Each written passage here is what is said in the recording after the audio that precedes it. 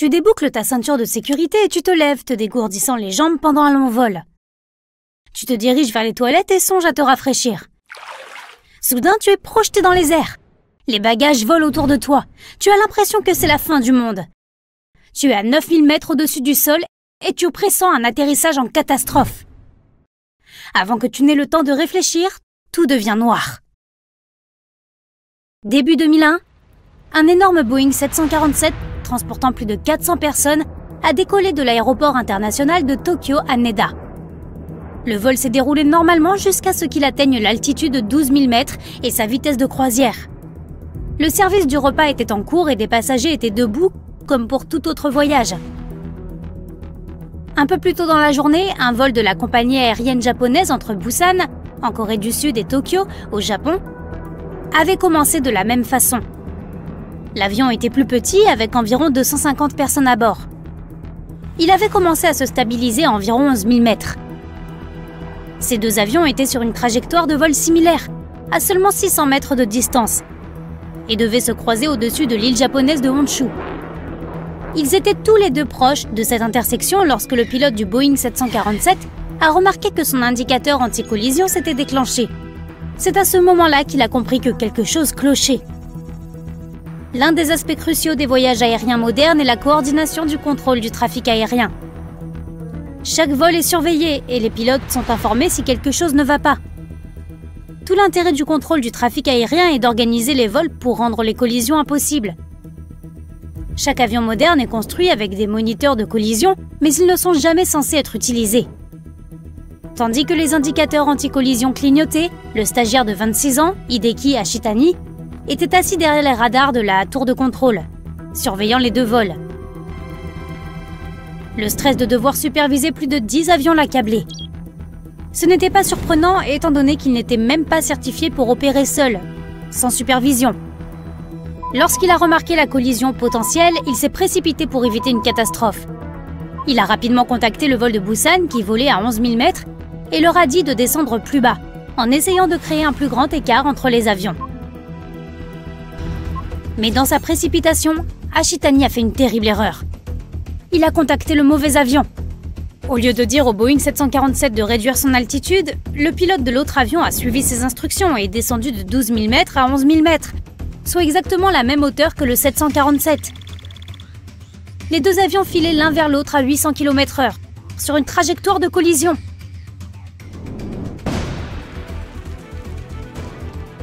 Ashitani commençait à paniquer Lorsqu'il a remarqué que le vol en provenance de Busan n'était pas descendu, il lui a rapidement ordonné de tourner à droite. Le pilote n'avait bien sûr pas suivi les instructions données car elles avaient été envoyées au mauvais avion. Pour une raison inconnue, l'instruction de tourner à droite n'est parvenue à personne cette fois-ci. Les communications du contrôle aérien étaient défaillantes et les pilotes n'avaient aucune idée de l'ampleur du danger qu'ils couraient. En voyant Ashitani paniquer derrière le panneau de contrôle, sa superviseuse s'est précipitée à son poste et a pris le contrôle de la situation. Elle a contacté le vol de Busan et lui a ordonné de monter. Mais étonnamment, elle a donné cet ordre à un vol qui n'était même pas en service ce jour-là. Les deux vols l'ont ignoré car ils ne savaient pas que le message leur était destiné. Le pilote du Boeing était au moins conscient qu'il y avait un autre avion à proximité. Mais sa confiance dans le contrôle du trafic aérien le réconfortait. Si quelque chose ne tournait pas rond, quelqu'un lui aurait sûrement envoyé des instructions. À ce stade, le crash commençait à sembler inévitable. Pour les passagers des vols, cependant, tout semblait normal. Ils étaient peut-être en train de manger un encas, de se dégourdir les jambes ou de faire la queue pour aller aux toilettes, ignorant complètement qu'ils étaient en train de foncer sur un autre avion. Heureusement pour les plus de 600 personnes impliquées, le pilote était bien entraîné et confiant dans une situation qui aurait figé la plupart de ses pairs. À travers son pare-brise, il a vu quelque chose qu'aucun pilote ne devrait jamais voir. Un autre avion se dirigeant directement vers lui. Grâce à un sang-froid et une réactivité remarquables, le pilote du Boeing a saisi la manette et l'a incliné aussi bas qu'il le pouvait pendant les secondes dont il disposait avant la collision. Le Boeing est passé directement sous l'autre avion. Imagine que tu es un pilote et que tu vois le sol devant toi au lieu du ciel. Ils s'en sont tous les deux sortis intacts. Cet homme a sauvé la vie de plus de 600 personnes. Cela ne veut pas dire que tout le monde s'en est sorti sans une égratignure. Les passagers n'étaient absolument pas au courant de l'incident, si bien que peu d'entre eux étaient attachés. Ils étaient totalement impuissants, car le changement de direction les a projetés contre l'intérieur de l'avion. Avec le mouvement soudain de l'avion, beaucoup ont heurté le toit avec la force d'un accident de voiture. Tous les objets et personnes non sécurisées ont été projetés dans les airs. Certains ont même eu l'impression que l'avion venait de toucher le sol. Par miracle, seuls 7 passagers et 2 membres d'équipage ont été gravement blessés, et les autres n'ont subi que des blessures mineures. Le pilote a fait demi-tour vers Tokyo pour permettre à tous les blessés d'être soignés. Grâce à la réaction rapide des équipes médicales et à l'incroyable réactivité dont a fait preuve le pilote, tous les passagers du vol ont survécu. Chaque fois que tu voyages en avion, tu t'engages à traverser le ciel à des vitesses allant jusqu'à 800 km/h dans une coque métallique fragile. Tu es entouré d'énormes moteurs dangereux, à 10 ou 11 km au-dessus du sol. Il n'y aurait sûrement aucun moyen de survivre si l'avion lui-même commençait à tomber en panne, n'est-ce pas? L'amérissage de la baie d'Hudson montre que des pilotes compétents peuvent surmonter des obstacles apparemment insurmontables. Le 15 janvier 2009, le vol 1549 devait se rendre de New York à la Caroline du Nord. Le pilote, Chesley Sullenberger, était un ancien pilote de planeur qui s'était reconverti dans les vols commerciaux dans les années 80. Le ciel était dégagé les conditions étaient favorables. C'était un vol typique pour les 155 passagers à bord jusqu'à ce que le pire se produise après seulement une minute et demie de vol. Alors que l'avion montait à 900 mètres, ils ont percuté une nuée de bernaches du Canada. Elles ont frappé tout l'avion, mais surtout, certaines se sont coincées dans les deux moteurs. Lorsque Sullenberger a réalisé que les moteurs étaient en panne, il a contacté le contrôle aérien. Il lui a ordonné de se poser à l'aéroport le plus proche, mais il a réalisé que c'était impossible. Avec des moteurs défaillants et aucune piste dégagée pour atterrir, il a dû prendre le contrôle de la situation pour sauver la vie de toutes les personnes à bord. Sans le contrôle total de son avion, il n'était pas en mesure de fonctionner à l'altitude normale. Il a volé si bas qu'il est passé juste au-dessus du pont George Washington, à seulement 270 mètres. Les gens présents sur le pont à ce moment ont été terrifiés de voir l'avion si près, mais ils n'avaient aucune idée de la gravité de la situation à bord. Alors que l'avion volait à 225 km/h, Sullenberger a vu le fleuve Hudson devant lui et n'a pas eu d'autre choix que d'y amérir. Dans la tour de contrôle, tout le monde a été choqué d'entendre ce qu'il comptait faire, mais il n'y avait pas d'autre option. Atterrir sur une piste est une chose, mais les pilotes commerciaux ne sont pas formés pour amérir sur un fleuve. Sullenberger a dû faire le vide dans sa tête et planifier l'amérissage tout en perdant de l'altitude il s'est assuré de laisser la queue toucher l'eau avant le nez. Amérir avec le nez en premier aurait compromis davantage les moteurs et causé encore plus de dégâts. Étonnamment, l'avion a touché l'eau sans se briser. Sa vitesse a progressivement diminué jusqu'à ce qu'il atteigne un rythme lent et régulier sur la surface de l'eau. De loin, les gens auraient pu croire que ce n'était qu'un bateau qui se déplaçait lentement. Mais les passagers n'étaient pas encore tirés d'affaire. Le stress de l'amérissage avait provoqué l'ouverture d'une des portes à l'arrière de l'avion et avait endommagé le fuselage. Il a rapidement pris l'eau et les passagers se sont précipités vers les toboggans gonflables pour être évacués. Un ferry est arrivé à une vitesse impressionnante pour aller chercher les passagers en détresse, qui ont attendu sur les ailes et les toboggans gonflables. Tous ont été légèrement blessés par la collision avec l'eau, mais tous ont survécu. Le capitaine Sullenberger est entré dans l'histoire comme l'un des pilotes les plus remarquables de tous les temps, ayant sauvé tant de personnes d'une situation apparemment sans espoir. Un film a même été réalisé sur son héroïsme.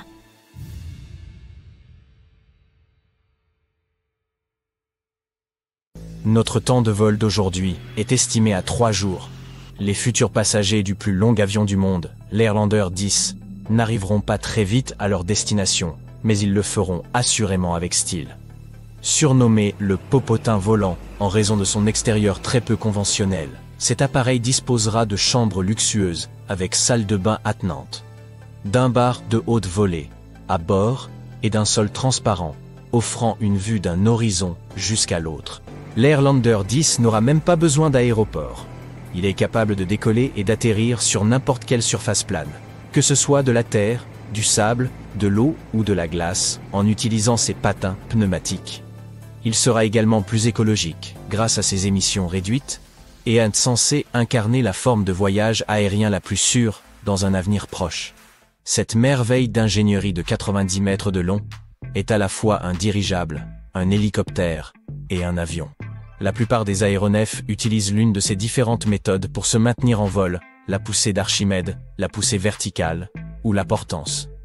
Les ballons dirigeables, les hélicoptères et les avions reposent respectivement sur chacun de ces trois principes. Mais cet appareil, lui, combine les trois. Tout d'abord, la poussée d'Archimède.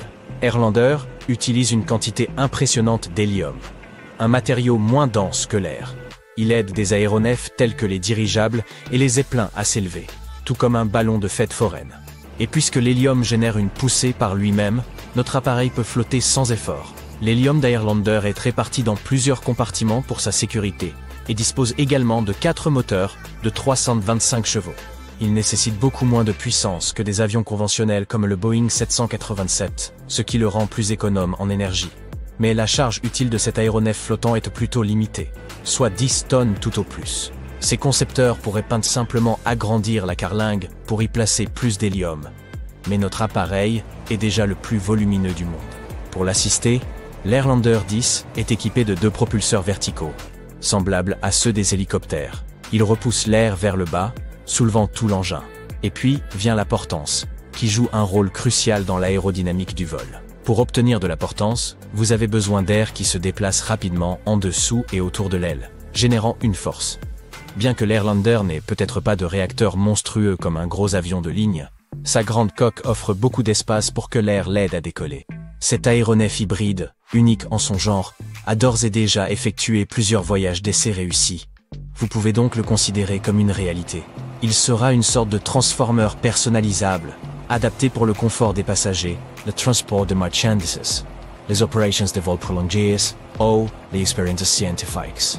En fonction de sa configuration, il pourra rester en vol jusqu'à 5 jours d'affilée, ce qui pourrait être particulièrement utile pour la recherche.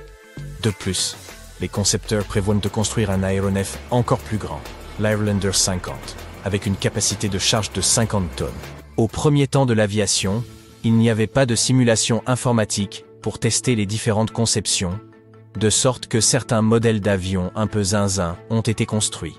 Le concepteur italien, Gianni Caproni, voulait créer un avion capable de transporter une centaine de passagers par-delà l'Atlantique avec confort et avec style.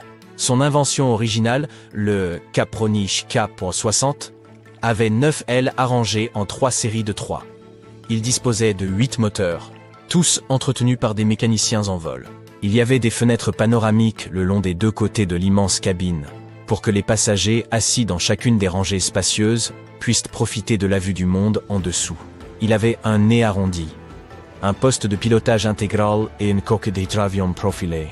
Une fois l'appareil achevé, un pilote a effectué des essais sur le lac Majeur en vue d'équilibrer l'hydravion, mais s'il s'est probablement trouvé un bateau sur sa trajectoire, Peut-être le pilote est-il allé trop vite au moment du décollage.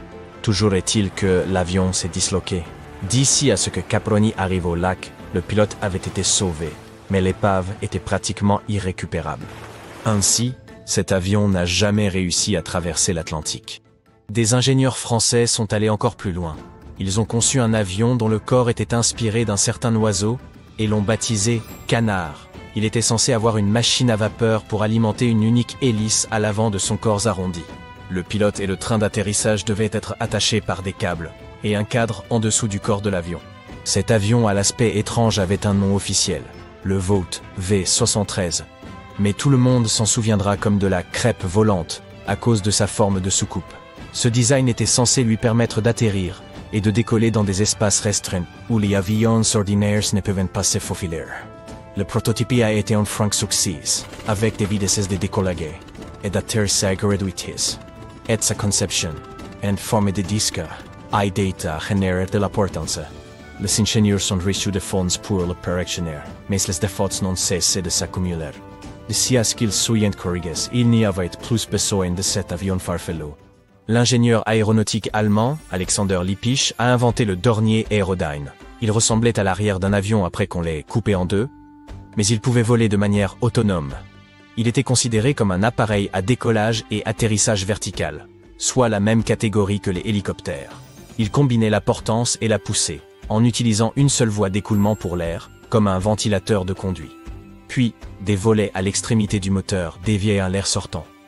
Le premier vol du dernier Aerodyne a eu lieu en 1972, et quoi qu'il ait été couronné de succès, l'industrie a rapidement perdu tout intérêt pour lui et a fini par mettre le projet en veilleuse. Le Prenyan Guppy, également connu sous le nom de Frankenplan car il était constitué de pièces provenant d'autres avions, a aidé la NASA dans son périple vers la Lune. Dans les années 60, il n'était pas évident d'expédier des fusées de la côte ouest à Cap Canaveral, en Floride.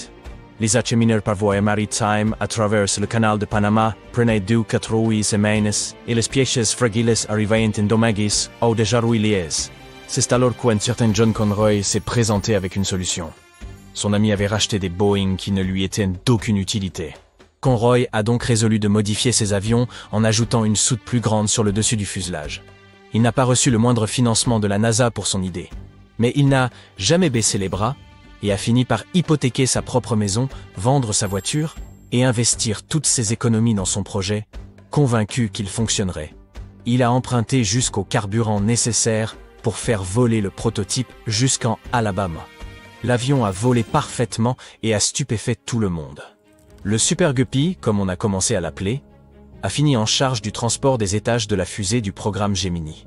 Conroy aura construit un total de 25 versions différentes de son avion pour accommoder des equipments toujours plus grands et plus lowers. L'Edgeley Optica ES7 a beau ressembler à un avion libellule futuriste, mais il a été conçu au milieu des années 70 pour des missions de surveillance ou de tourisme à basse altitude et à vitesse réduite. Il dispose d'un cockpit d'hélicoptère monté à l'avant d'un moteur à turbine et offre un impressionnant champ de vision à 270 degrés. Sa grande turbine fonctionne silencieusement à l'intérieur et à l'extérieur du cockpit. Il a suscité un regain d'intérêt au XXIe siècle pour les missions de patrouille frontalière, de recensement de la faune et de repérage des incendies. Mais en raison du manque de financement, seuls 5 des 22 avions construits à l'époque sont encore en état de voler. Avez-vous déjà vu un avion avec deux fuselages de taille différentes? Le Rutan Model 202 Boomerang se distingue comme étant un avion à moteur multiple, construit de cette manière pour minimiser les risques de panne. Contrairement aux avions conventionnels, même si l'un de ces moteurs devait tomber en panne, le boomerang resterait facilement contrôlable grâce à sa conception innovante qui tire efficacement parti de la poussée asymétrique. Ce design rend le boomerang plus rapide et plus efficace. Cet avion n'a jamais été conçu pour un usage commercial, mais comme un véhicule particulier pouvant accueillir jusqu'à 5 personnes. Rien qu'en le regardant, on peut dire que le short Skyvan a été construit à des fins pratiques, sans trop se soucier de l'esthétique. Et c'est ainsi que cet avion polyvalent a reçu des sobriquets tels que la boîte à chaussures volante ou la cabane à outils, Malgré toutes ces moqueries, le Skyvan a fidèlement servi au fil des ans. Il fait partie du paysage depuis son premier vol dans les années 60 et transporte toujours des marchandises et des passagers aujourd'hui. Il peut accueillir jusqu'à 19 personnes et dispose d'une grande porte arrière, semblable à celle d'une camionnette, pour le chargement et le déchargement des marchandises. C'est pourquoi il est parfait pour les vols court courriers, des activités comme le parachutisme et bien d'autres usages encore. Imaginez ceci. Vous êtes en train de flotter dans les airs à une altitude de 900 mètres. Effrayant, non? Mais maintenant, imaginez que cette altitude reste la même, mais que vous vous trouviez à l'intérieur du grand tube métallique d'un avion. Votre vol est particulièrement long, et après avoir bu six verres d'eau, vous ressentez le besoin pressant d'aller aux toilettes. Ah, mais en vous y rendant, vous vous retrouvez face à une file d'attente interminable. C'est alors qu'une étrange idée vous vient à l'esprit chaque personne devant vous va probablement tirer la chasse après avoir utilisé les toilettes. Mais vous vous demandez, comment un avion peut-il contenir autant d'eau? Et que deviennent tous ces déchets? Vous espérez bien sûr qu'on ne les largue pas en plein vol, pour atterrir sur les villes en contrebas, éclaboussant tout sur leur passage. Cette pensée vous fait froid dans le dos. Heureusement, un pilote a levé le voile sur ce mystère. Tous les déchets passent comme par une plomberie spéciale située à l'arrière de l'appareil, où ils sont stockés dans des compartiments étanches. Une fois arrivés à destination, l'équipe au sol se charge de les évacuer. Pendant un vol long courrier, la chasse peut être tirée plus de 1000 fois, emmagasinant jusqu'à 1200 litres de déchets. Maintenant, parlons de cette eau. Vous êtes-vous déjà demandé pourquoi il n'y avait pas d'eau dans la cuvette des toilettes de l'avion? C'est parce que vous utilisez en réalité des toilettes à aspiration. Contrairement au cabinet que vous avez à la maison, La cuvette n'est pas remplie d'eau. Lorsque vous tirez la chasse de vos toilettes, un siphon vide la cuvette et la gravité achemine ensuite l'eau plus loin dans le système d'évacuation. Mais cette approche ne fonctionnerait pas dans un avion en mouvement, car l'eau giclerait partout pendant le vol, en particulier dans une région de forte turbulence. Et si la cuvette des toilettes n'est pas remplie d'eau, vous ne pouvez pas utiliser la gravité ou le siphon pour la vider. Au lieu de cela, lorsque vous tirez la chasse, une vanne s'ouvre dans les canalisations, et le vide aspire les déchets hors de la cuvette dans un réservoir spécial. Comme l'aspiration fait tout le travail, il n'y a presque pas besoin d'eau, ou plutôt de ce liquide désinfectant bleu vif utilisé dans les avions. C'est pourquoi un tel système ne nécessite que 2 litres de liquide, voire moins, pour une seule évacuation. En comparaison, des toilettes économes en eau ont besoin de 6 litres, et des toilettes ordinaires en nécessitent 20. D'accord. Nous avons compris comment les avions s'accommodèrent de tous les déchets qui s'accumulent pendant le vol. Mais imaginons une autre situation. Un pare-brise de cockpit fissuré, Généralement, ceux-ci sont composés de deux épaisses parois de verre avec une couche de plastique entre elles pour l'isolation. Chacune de ces vitres est conçue pour supporter toute la pression si l'autre venait à céder. Ainsi, même en cas de fissure, l'avion reste en sécurité. Si un tel incident se produit, les pilotes réduisent généralement leur altitude pour diminuer la pression sur le pare-brise et, si nécessaire, ils peuvent changer d'itinéraire. Très bien, maintenant, parlons de ce que nous pouvons faire s'il y a un serpent dangereux dans le cockpit. Vous pourriez vous dire que j'invente tout cela ou que je l'ai vu dans un film avec Samuel Jackson. Mais il s'agit d'une situation bien réelle. Un pilote sud-africain avait pris les commandes d'un petit avion avec quatre passagers et volait à une altitude de 300 mètres lorsqu'il a remarqué quelque chose qui n'était vraiment pas censé se trouver là. Un cobra qui rampait sous son siège. Pendant un instant, il a simplement fixé le reptile. Puis, ne voulant pas causer de panique à bord, il a très calmement informé ses passagers de la présence du passager clandestin. L'avion a alors dû effectuer un atterrissage d'urgence. Dans ce cas, le pilote a choisi d'être honnête avec ses passagers. Mais parfois, les commandants de bord choisissent de remplacer les mots qui pourraient rendre certaines personnes nerveuses, comme turbulence, par d'autres expressions beaucoup plus anodines. Si vous voulez être dans le coup, voici quelques indices à prendre en compte. Si un pilote demande à l'équipage de s'asseoir, c'est qu'une route chaoteuse est à venir. Un autre terme à noter est nous traversons une poche d'air. Cette fameuse poche d'air est simplement une façon de décrire les vents qui secouent à votre avion dans différentes directions. Mais voici le subterfuge. Le terme poche d'air est souvent moins alarmant que celui de turbulence. Et puis il y a ce qu'on appelle la zone météorologique. Ce terme désigne généralement une forte pluie ou un orage situé à proximité de l'avion en vol, ne soyez donc pas surpris si le commandant vous annonce. Nous approchons d'une zone météorologique que nous allons contourner. Ah, et tant que nous évoquons le langage mystérieux utilisé par les pilotes, voici quelques autres exemples. Vous pourriez entendre le commandant de bord lâcher Georges, pilote l'avion. Et non, il ne fait pas référence à son collègue. C'est ainsi que l'on appelle le système de pilote automatique de l'appareil. George est programmé pour suivre un certain itinéraire en tenant compte des conditions météorologiques, des turbulences et de l'altitude. Les pilotes enclenchent généralement le pilote automatique une fois qu'ils ont atteint leur altitude de croisière ou après avoir volé pendant plus de 10 heures, moment auquel ils sont tenus de se reposer. Parfois, vous pouvez entendre dire qu'il y a un pilote dans le strapontin, il n'est pas rare pour un pilote qui n'est pas en service ou un autre membre du personnel de prendre place sur un strapontin lorsqu'il retourne à sa base. Les inspecteurs de l'administration fédérale de l'aviation peuvent également voyager dans des sièges pliables. Certaines compagnies aériennes peuvent même proposer leurs sièges à des pilotes travaillant pour la concurrence. Et si vous vous posiez la question, il n'y a aucun lien entre les strapontins et les cotillons. Si votre premier vol a été retardé et que vous êtes dans une course folle pour attraper votre correspondance, vous êtes ce qu'on appelle un coureur. Vous pourriez entendre les membres de l'équipage ou le personnel au sol dire ⁇ Les coureurs sont en route ⁇ Cela signifie que certains passagers se précipitent pour attraper leur vol. Malheureusement, si l'heure de départ est stricte, il peut partir sans attendre les retardataires. Si vous entendez un pilote dire ⁇ Pan pan, ce n'est pas de bon augure. Cela indique que des problèmes se profilent. Les pilotes utilisent ce terme lorsqu'ils communiquent avec le contrôle aérien. Cela signifie qu'il y a un souci avec le vol et que l'équipage du cockpit a besoin d'une assistance immédiate. Lorsque d'autres pilotes qui utilisent la même fréquence radio entendent ce signal, ils interrompent toute leur communication et laissent le pilote Pampan transmettre son message. 3, 5, 9er. Non, ce n'est pas un code ultra secret. C'est juste la façon dont les pilotes prononcent certains nombres dans leur anglais de pilote. 3 signifie 3, fif, 5 et niner est utilisé à la place de 9. Cette prononciation vise à éviter les erreurs de communication radio et la confusion résultant de nombres qui se ressemblent trop. Nous terminons quelques formalités administratives. Si vous entendez le commandant prononcer cette phrase, cela ne signifie pas nécessairement que vous allez être en retard. Finaliser les formalités signifie généralement réviser l'itinéraire de vol, vérifier le poids et l'équilibre de l'avion, ou même attendre que le personnel au sol prépare le carnet de vol.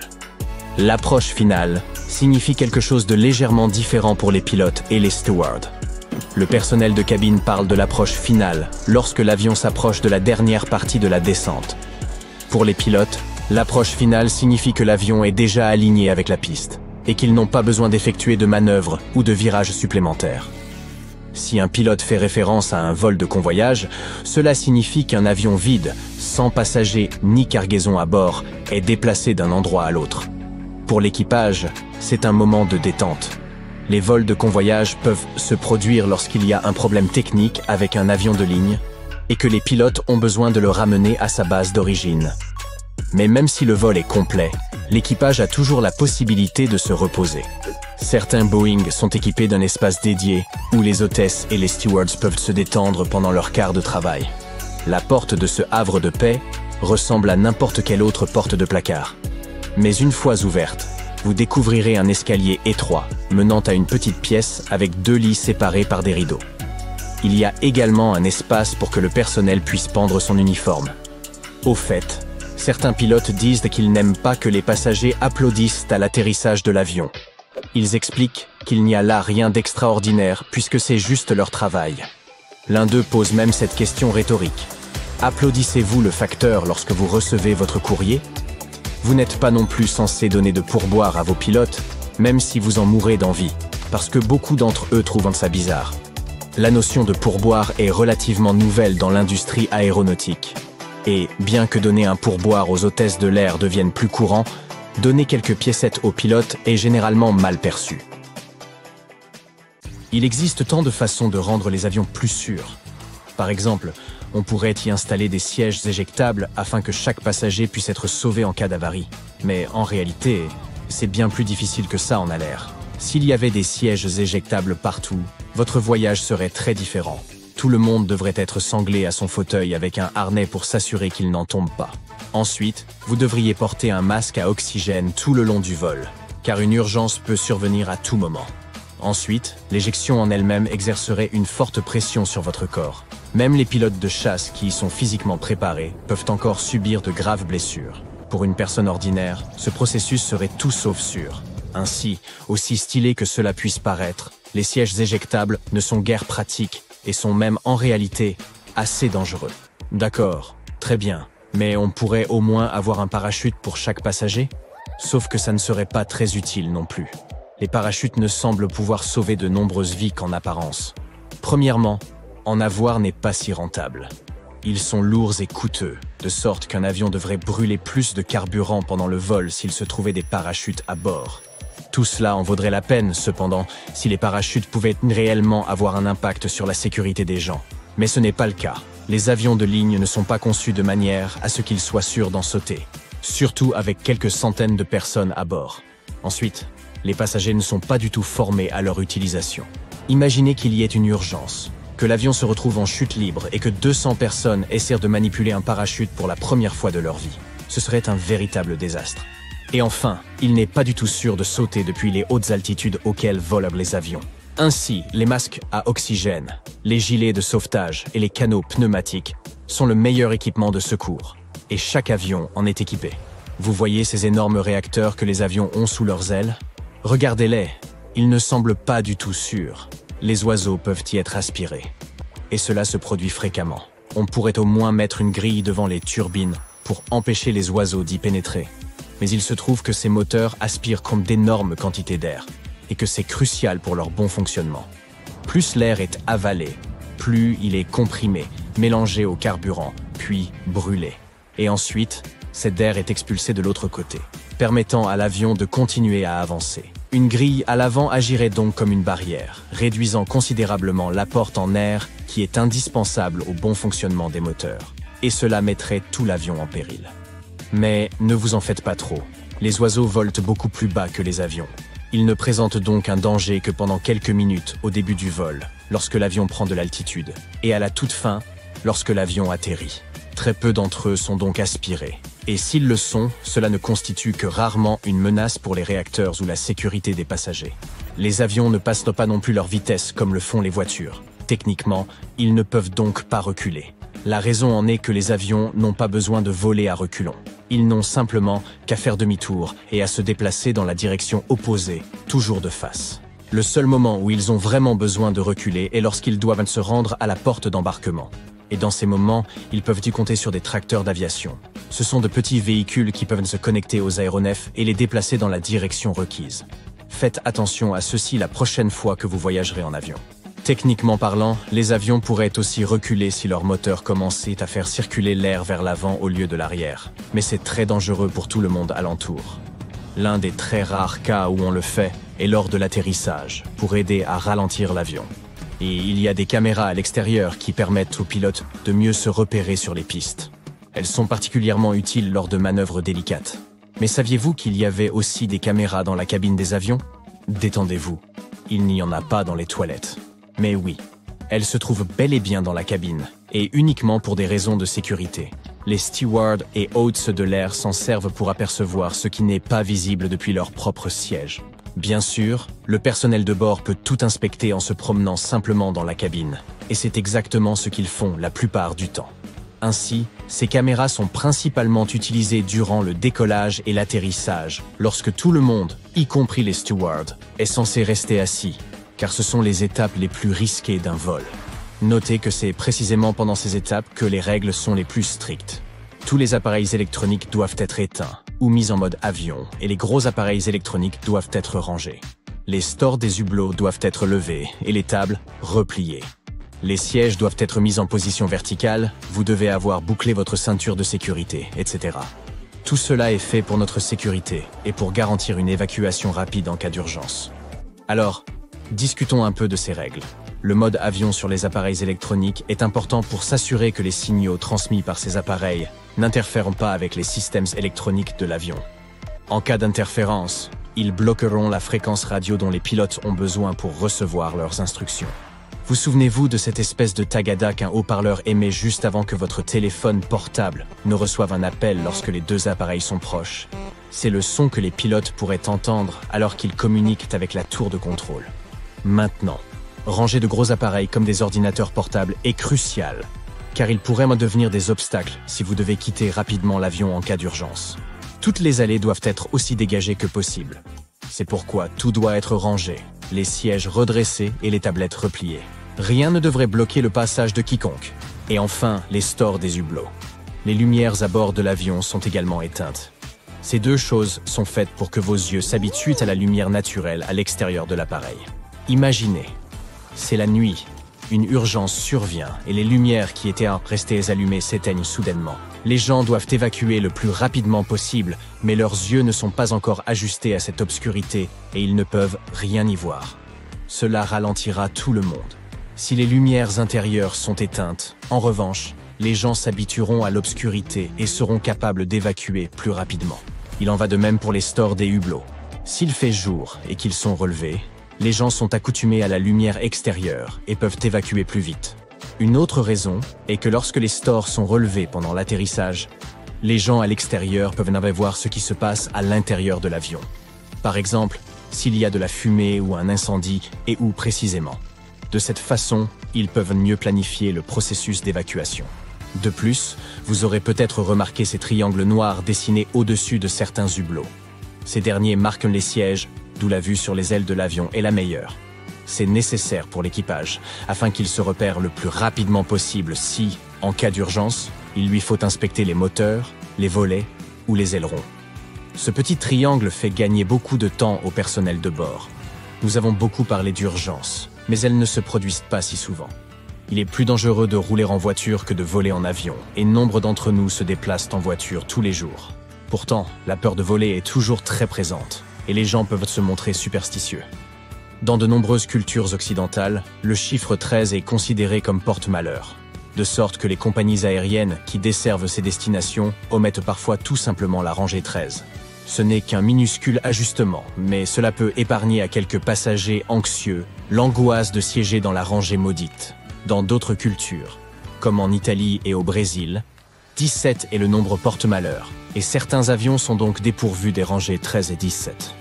Dans les avions qui desservent la Chine, il n'est pas rare d'omettre la rangée 14 à la place. As-tu déjà regardé un film hollywoodien bourré d'action, où un avion se retrouve percé sur le côté, et où tout le monde commence à paniquer? Les objets volent dans tous les sens, et les gens ont bien du mal à rester dans leur siège. Dans la vraie vie, un petit trou dans la carlingue de l'avion ne va pas provoquer un tel drame. Cependant, on a une histoire incroyable à te raconter. Celle d'un pilote qui a réussi à faire atterrir un avion dont la moitié du toit avait disparu. Peux-tu seulement le croire? N'oublie pas d'attacher ta ceinture de sécurité, car ce voyage va être très mouvementé. Le 28 avril 1988, un Boeing 737 appartenant à Aloha Airlines a décollé de l'aéroport international de Hilo à destination d'Honolulu. Avant ce volume, l'avion avait déjà effectué trois courts trajets entre Honolulu, Hilo, Maui et Kauai. Ce jour-là, tout semblait calme et le temps était au beau fixe. Le voyage s'annonçait sans encombre. Le commandant de bord était un certain Robert Schornsteimer et sa copilote Madeleine Tompkins. Tous deux étaient des pilotes aguerris, avec plusieurs milliers d'heures de volume sur Boeing 737 à leur actif. Tôt ce matin-là, avant de décoller d'Honolulu, Madeleine a procédé à l'inspection préalable habituelle et a déclaré que tout était en ordre. À 11h, ils ont décollé d'Honolulu en direction de Maui, puis ont mis le cap sur Hilo. Arrivés sur cette île, ils n'ont pas quitté leur cockpit et n'ont pas non plus inspecté l'avion de l'extérieur. Ce n'était pas une obligation, alors pourquoi s'en préoccuper? À 13h25, l'avion a décollé pour la dernière étape de son trajet aller-retour, avec 95 personnes à son bord, 89 passagers, deux pilotes, trois hôtesses de l'air et un contrôleur aérien de la FAA qui occupait le siège d'observation dans le cockpit. L'avion avait décollé normalement et atteint son altitude de croisière de 7300 mètres sans encombre. Mais à 40 km de Kaului, les choses se sont totalement emballées. Les pilotes ont entendu un bruit sourd, suivi d'un craquement, puis d'une rafale de vent si forte qu'elle en était assourdissante. Il s'avère qu'une petite partie du toit du côté gauche s'était détachée, provoquant une décompression explosive de l'avion. Et pour ne rien arranger, celle-ci a provoqué une réaction en chaîne qui a entraîné l'arrachement d'une grande partie du toit de l'appareil. Cette partie manquante mesurait 5 à 6 mètres de long et faisait partie intégrante de la carlingue qui recouvrait l'avion depuis le cockpit jusqu'à l'avant de l'aile. Les pilotes n'avaient pas la moindre idée de ce qui se passait lorsque la catastrophe s'est produite. Le copilote, qui contrôlait l'avion à ce moment-là, a soudain senti sa tête basculer en arrière. Puis il a vu un tas d'isolants gris et de débris voler autour du cockpit comme s'il s'était agi d'une tornade. Pendant ce temps, le commandant de bord a jeté un coup d'œil autour de lui et a été stupéfait de voir que la porte même du cockpit était introuvable et qu'au lieu du plafond de la première classe, il regardait directement le ciel. L'avion a commencé à basculer d'un côté à l'autre, ce qui a rendu difficile le contrôle de l'appareil. L'équipage dans le cockpit a rapidement enfilé ses masques à oxygène et le commandant de bord a pris les commandes de l'avion. Il a alors entamé une descente d'urgence vers l'aéroport le plus proche, qui se trouvait sur l'île de Maui. Heureusement, tous les passagers étaient assis et la plupart d'entre eux avaient bouclé leur ceinture de sécurité, car le voyant lumineux n'avait pas été éteint. Malheureusement, les trois hôtesses de l'air ont été prises au dépourvu. L'une d'entre elles se trouvait près de l'embrasure et a été éjectée hors de l'avion. Les deux autres ont été projetées au sol. L'une d'entre elles s'est cognée la tête et a perdu connaissance. La troisième hôtesse s'est immédiatement appliquée à aider les passagers et à les calmer. Dans le même temps, les pilotes tentaient désespérément de faire savoir au centre de contrôle aérien qu'ils étaient en difficulté. Mais il leur était extrêmement difficile de communiquer, en raison du bruit et des masques à oxygène auxquels ils étaient astreints. il leur a fallu recourir au langage des signes de pour se comprendre entre eux. De plus, ils n'étaient pas sûrs que leur message soit entendu par la tour de contrôle. Les commandes de l'avion ne répondèrent pas correctement, ce qui rendait la tâche du commandant de bord d'autant plus ardue.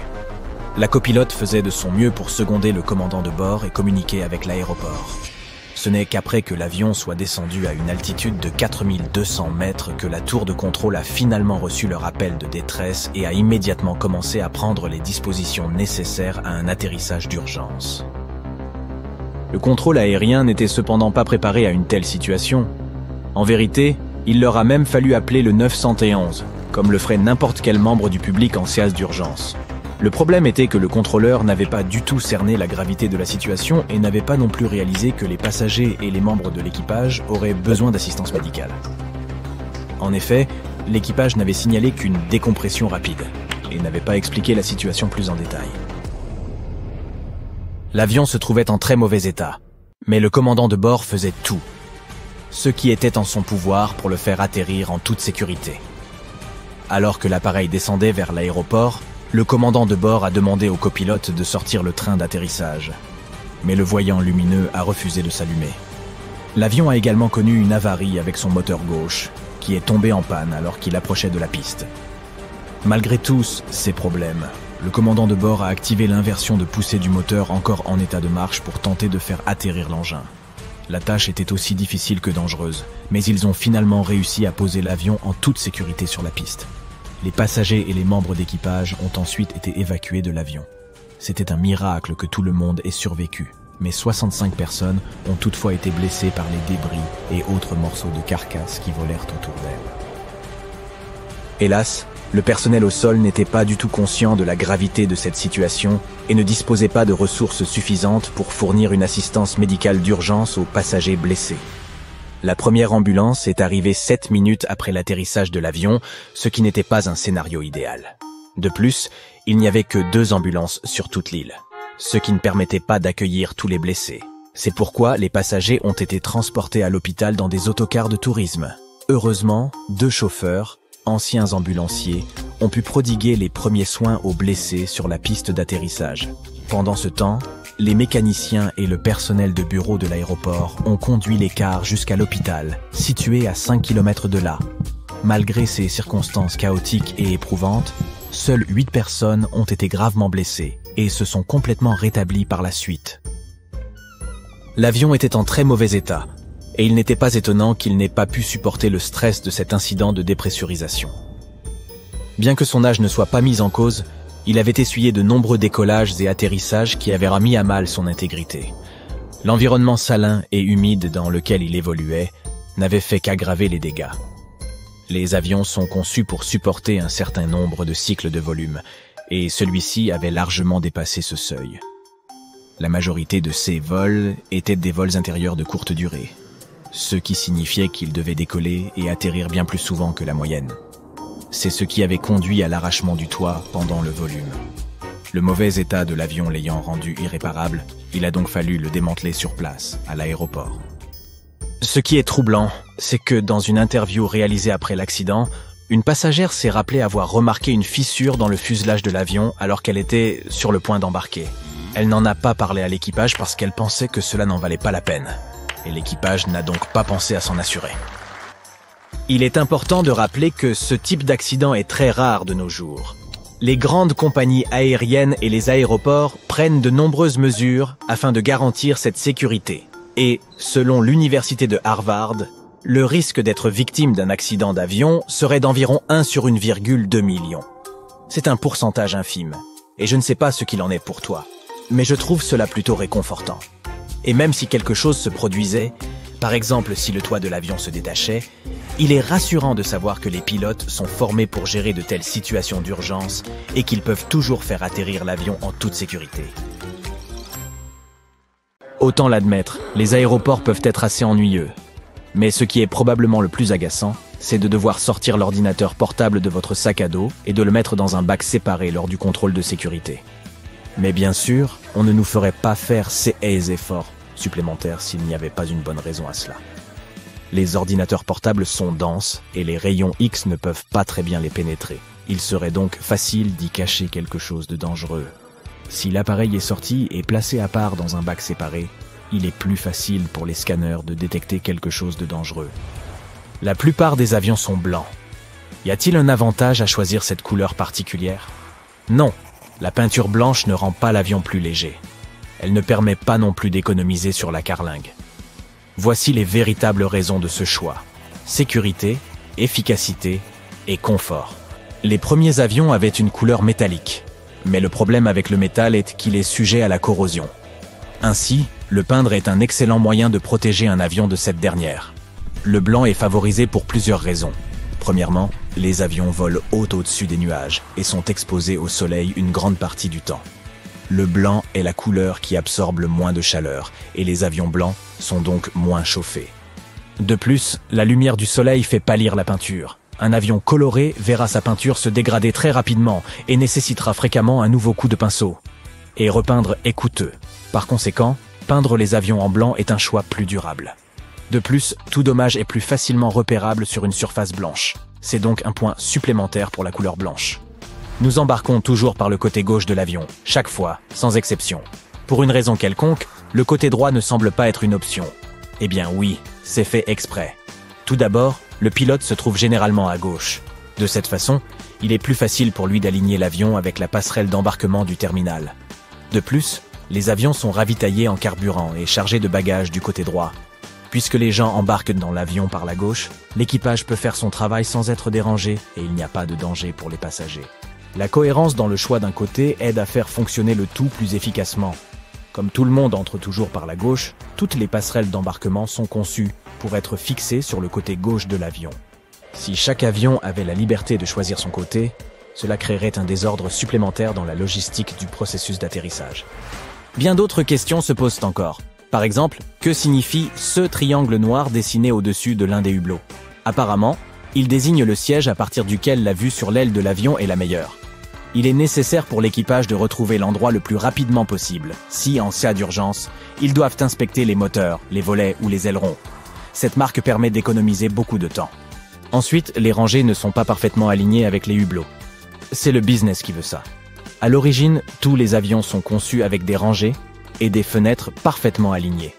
Mais lorsqu'une compagnie aérienne achète un appareil, elle ajoute des sièges supplémentaires, les serrant plus près les uns des autres.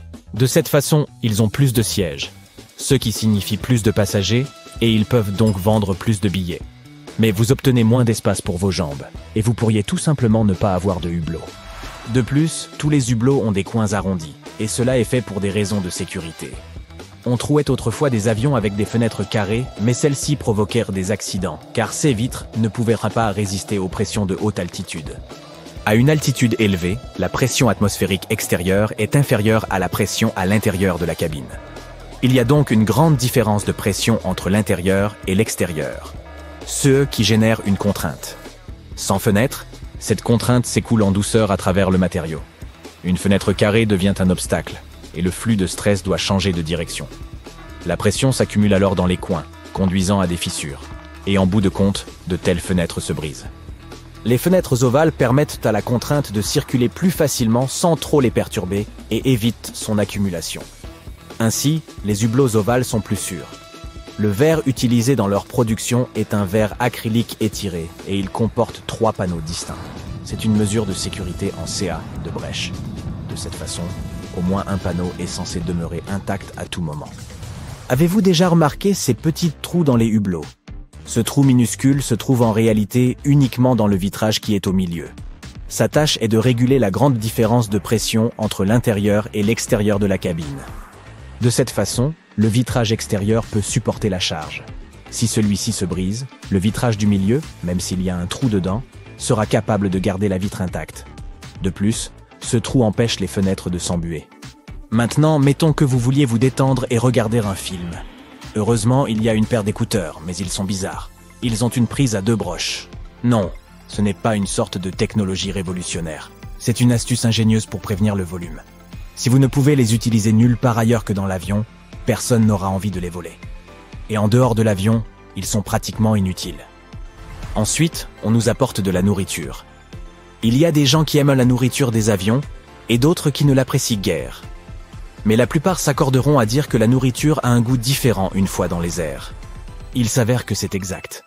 La basse pression atmosphérique, le manque d'humidité et le bruit de fond que nous subissons en haute altitude altèrent le fonctionnement de nos papilles gustatives. Elles deviennent moins sensibles aux aliments sucrés et salés. Et les compagnies aériennes doivent donc utiliser davantage d'assaisonnement. Vous êtes-vous déjà demandé ce qui se passerait si quelqu'un ouvrait accidentellement la porte d'un avion? Cela ne se terminerait pas bien. Le moins que l'on puisse dire, c'est que ce serait très dangereux. Plus précisément, bien vite, il y aurait un manque d'oxygène dans la cabine. Mais heureusement, personne ne peut ouvrir cette porte par accident. La différence de pression entre l'intérieur et l'extérieur rend presque impossible son ouverture. Il faudrait donc une force colossale pour l'ouvrir. Enfin, ces portes sont conçues pour s'ouvrir d'elles-mêmes en cas d'urgence. En parlant de sécurité, pendant le décollage et l'atterrissage, l'équipage réduit la lumière dans la cabine. Cela est fait pour une bonne raison. De cette façon, en cas d'urgence, vous verrez tout plus clairement. Vos yeux s'habitueront à l'obscurité et vous aurez plus de facilité à évacuer. À présent, parlons des pilotes. Ils portent toujours ces lunettes de soleil super cool. Mais le but n'est pas d'épater la galerie. Elles sont utilisées pour protéger les yeux. Tout au long de leur carrière, les pilotes doivent prendre soin de leur vue. Mais le problème est que ce n'est pas une tâche aisée lorsque vous êtes pilote. Le rayonnement solaire nocif que notre Soleil émet est filtré par l'atmosphère terrestre. Donc la lumière du Soleil n'est pas très dommageable pour vous si vous passez la plupart de votre temps sur la terre ferme. Mais c'est différent là-haut dans le ciel. Il y a moins d'air là-bas, et la luminosité est beaucoup plus élevée. Pour chaque 300 mètres d'altitude, le rayonnement solaire est environ 5% plus fort. En moyenne, les avions volent à une altitude de 10 700 mètres. Cela signifie que la quantité de rayonnement UV et I est 175% plus grande qu'au sol c'est extrêmement dommageable pour la vue de quiconque. Le grand nombre d'heures que les pilotes passent dans les airs les rend donc vulnérables à différents problèmes oculaires. Et avoir des problèmes de vue peut coûter sa carrière à un pilote. Ainsi, il est crucial pour eux de porter des lunettes de soleil et celles-ci doivent être de la meilleure qualité. Elles devraient minimiser l'impact de la lumière du soleil et résister aux rayons UV, offrant une protection à 100% pour les yeux. De plus, elles ne peuvent pas être polarisées, car la polarisation est susceptible de perturber la perception des affichages dans le cockpit. Elles devraient offrir la meilleure clarté, réduire la fatigue oculaire et minimiser l'altération des couleurs, afin que les pilotes puissent voir en intérieur comme s'ils ne portaient pas de lunettes. Pourquoi les chats aiment-ils lécher les humains? Il y a plusieurs raisons potentielles à cela. Premièrement, ils recueillent des informations biochimiques sur ta peau ils peuvent aussi te marquer comme l'une de leurs possessions. Admets-le, cela ressemble totalement à un comportement de chat. Et il se pourrait aussi qu'ils te fassent simplement savoir qu'ils te font confiance. Ou au moins te montrer qu'ils ne te considèrent pas comme une menace ou un rival potentiel. Pourquoi les bananes deviennent-elles plus sucrées en mûrissant? Les fruits ne dispersent pas leurs graines au hasard, ils le font lorsque les animaux les mangent. À un certain stade, ils augmentent soudainement leur teneur en sucre ce qui incite les animaux à les manger à ce moment-là. Plus précisément, lorsque leurs graines sont mûres. Les graines mûres ont développé des revêtements spéciaux qui les protègent lorsqu'elles passent dans le système digestif des animaux. Pourquoi notre peau est-elle fripée après avoir passé du temps dans l'eau? Après 5 à 10 minutes dans la baignoire, tu remarqueras que de petites rides se forment sur tes pieds et tes mains. Les scientifiques supposent que cela pourrait être la façon dont notre corps obtient une meilleure adhérence lorsqu'il est immergé dans un environnement glissant. Nos doigts ridés améliorent notre prise sur les objets immergés ou mouillés. De plus, ils canalisent l'eau de façon similaire aux bandes de roulement pour la pluie sur les pneus de voiture. Lorsque tu manges quelque chose de très acide, tu ne le sens pas seulement sur ta langue, parfois tout ton visage semble se contracter pour que tout le monde autour puisse voir que tu passes un mauvais moment. La saveur aigre qui provoque cette réaction est le résultat des ions d'hydrogène que les acides libèrent lorsqu'ils se mélangent à la salive. Au moment où ta bouche détecte ce signe d'un acide, elle t'envoie un message de manière assez spectaculaire pour que tu ne puisses pas l'ignorer. C'est une réponse évolutive qui avait du sens dans les temps anciens, car beaucoup de plantes que nos ancêtres trouvaient dans la nature et qu'ils voulaient ensuite consommer étaient toxiques, surtout les plantes au goût acide. Donc encore aujourd'hui, tes récepteurs gustatifs te mettent en alerte et ton visage se tord de façon incontrôlable lorsque tu goûtes quelque chose comme ça. Une couleur plus claire sur un avion est en fait plus lourde qu'une peinture plus sombre. La couleur blanche nécessite un contenu solide plus élevé que le noir pour obtenir la saturation nécessaire. Or, plus la teneur en solide est élevée, plus la peinture sera lourde. C'est pourquoi la peinture blanche est l'une des plus lourdes. Mais les avions blancs sont plus efficaces que les noirs, bien que cela dépende aussi de la façon dont on définit efficace. La peinture blanche reflète en effet davantage la lumière du soleil que la peinture noire.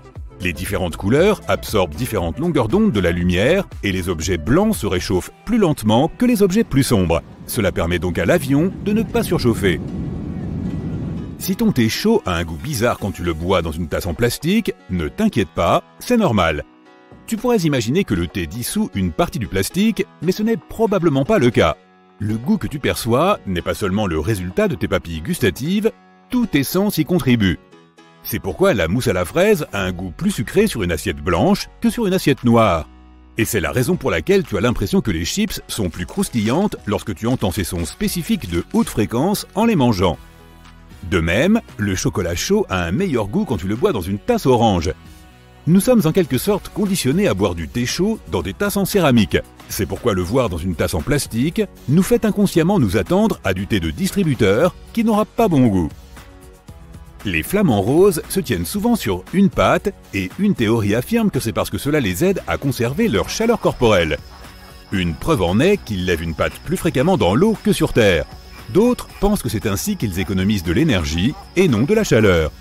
Ces oiseaux sont définitivement plus stables sur une patte lorsqu'il s'agit de rester debout pendant de longues périodes. C'est parce qu'ils peuvent verrouiller les tendons et les ligaments de leurs pattes dans une position stable, ce qui signifie que leurs muscles n'ont pas à travailler dur pour rester au même endroit. Et puis ça leur donne un look inimitable.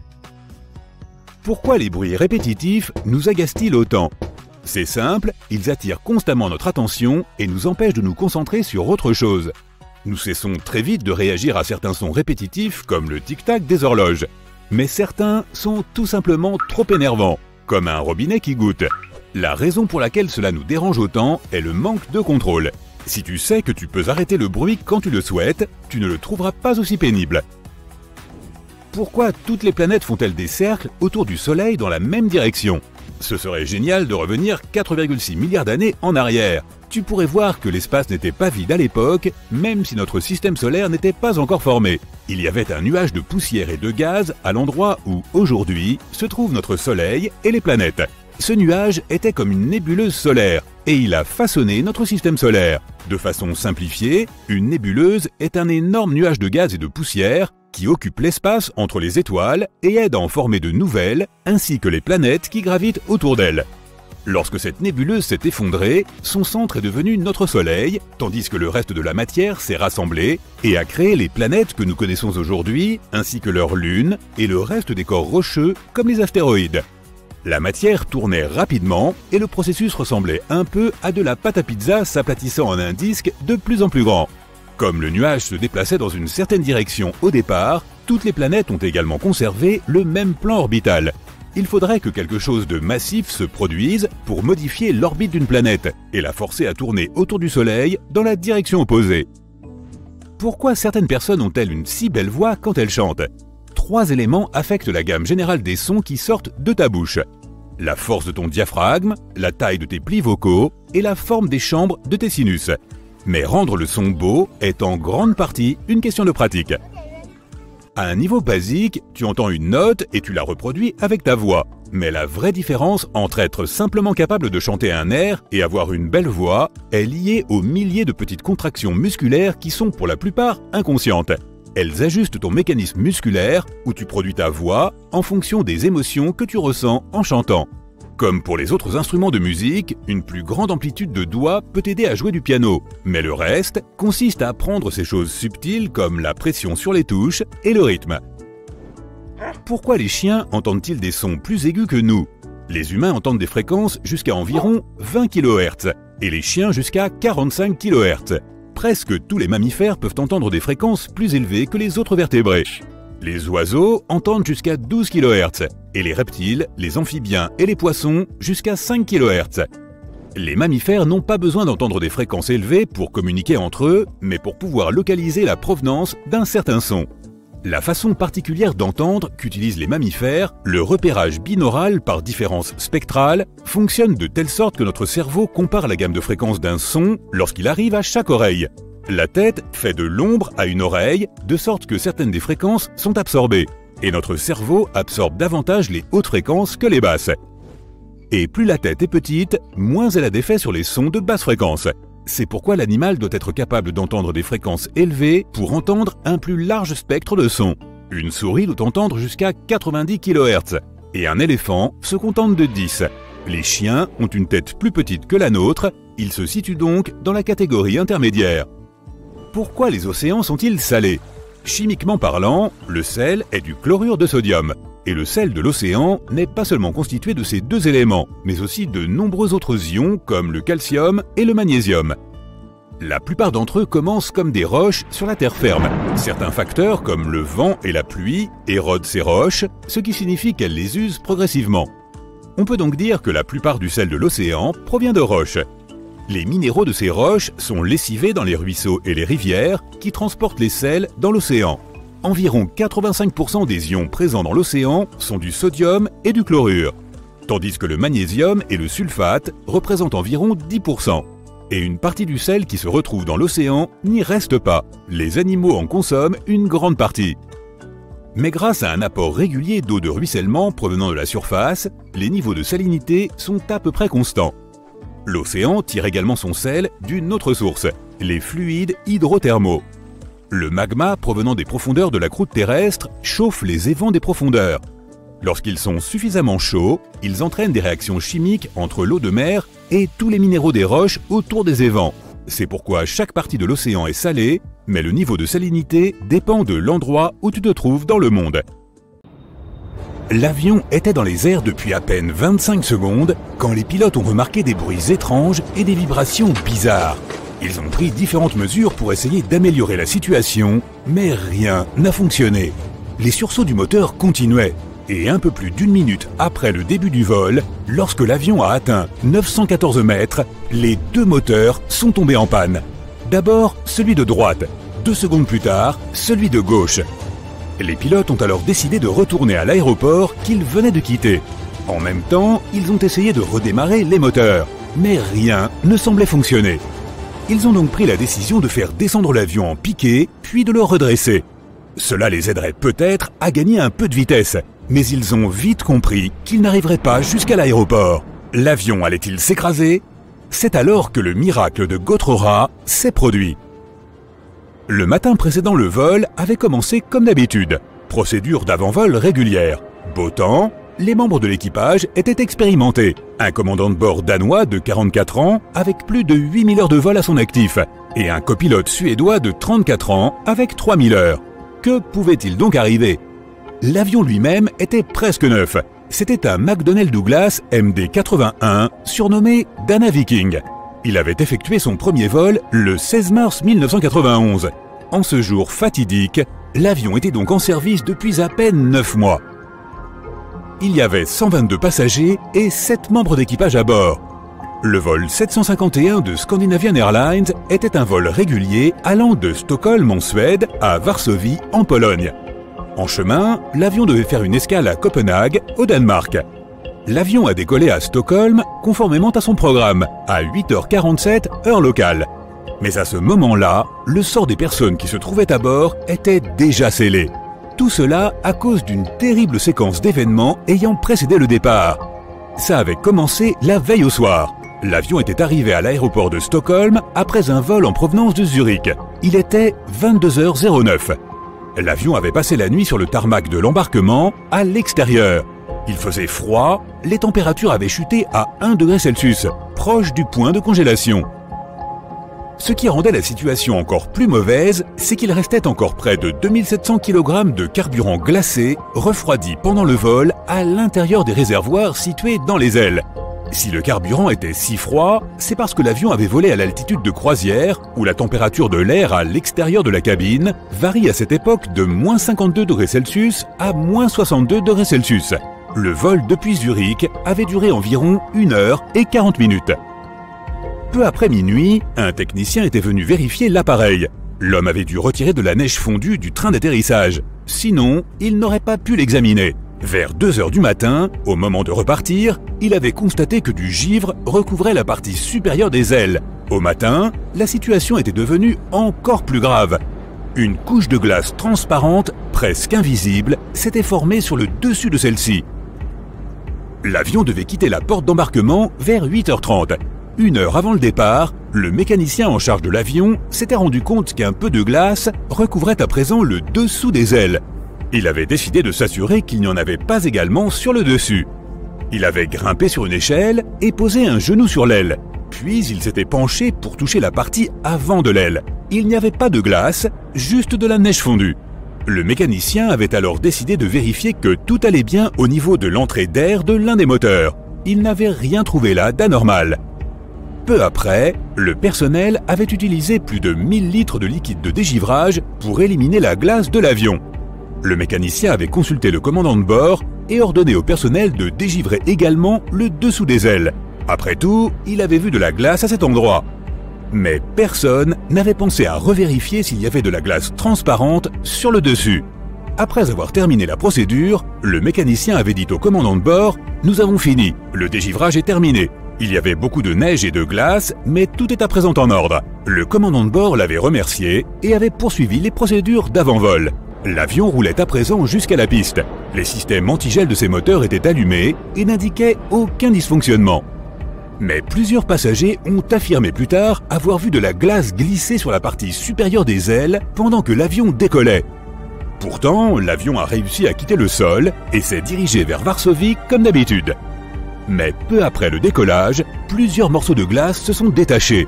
À pleine vitesse, ils sont venus percuter les turbines des moteurs près de la queue des deux côtés de l'avion, démolissant les pales.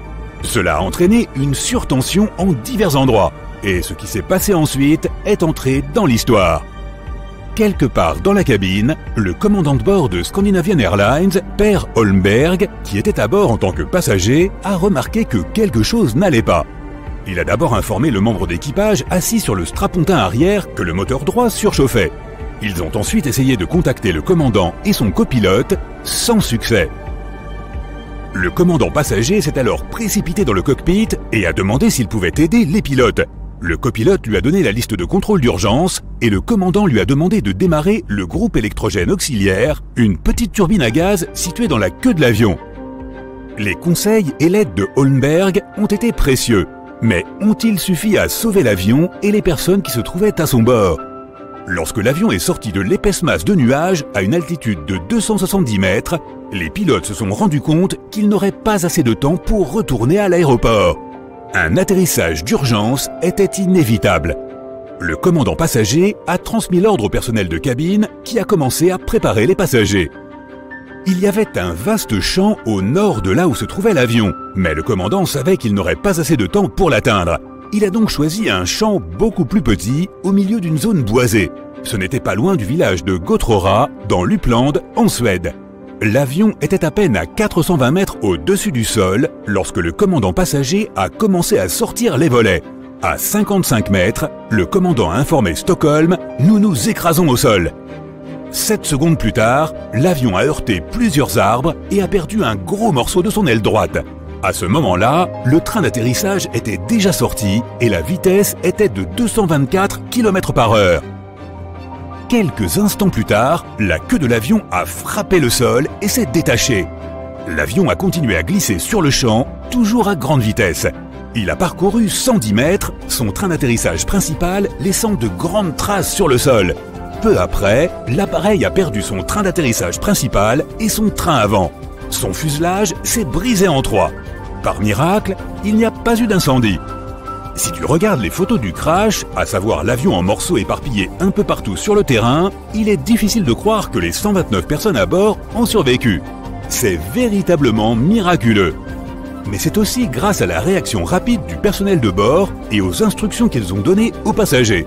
Ils n'ont pas paniqué et ont dit aux gens de se mettre en position de sécurité juste à temps pour éviter le pire. Plus surprenant encore, presque tous les passagers, à l'exception de 4 personnes, ont réussi à sortir de l'avion par leurs propres moyens. Pas étonnant que cet accident ait été surnommé le miracle.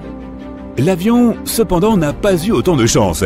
Cet appareil, vieux de 9 mois seulement, a été tellement endommagé qu'on l'a immédiatement mis hors service.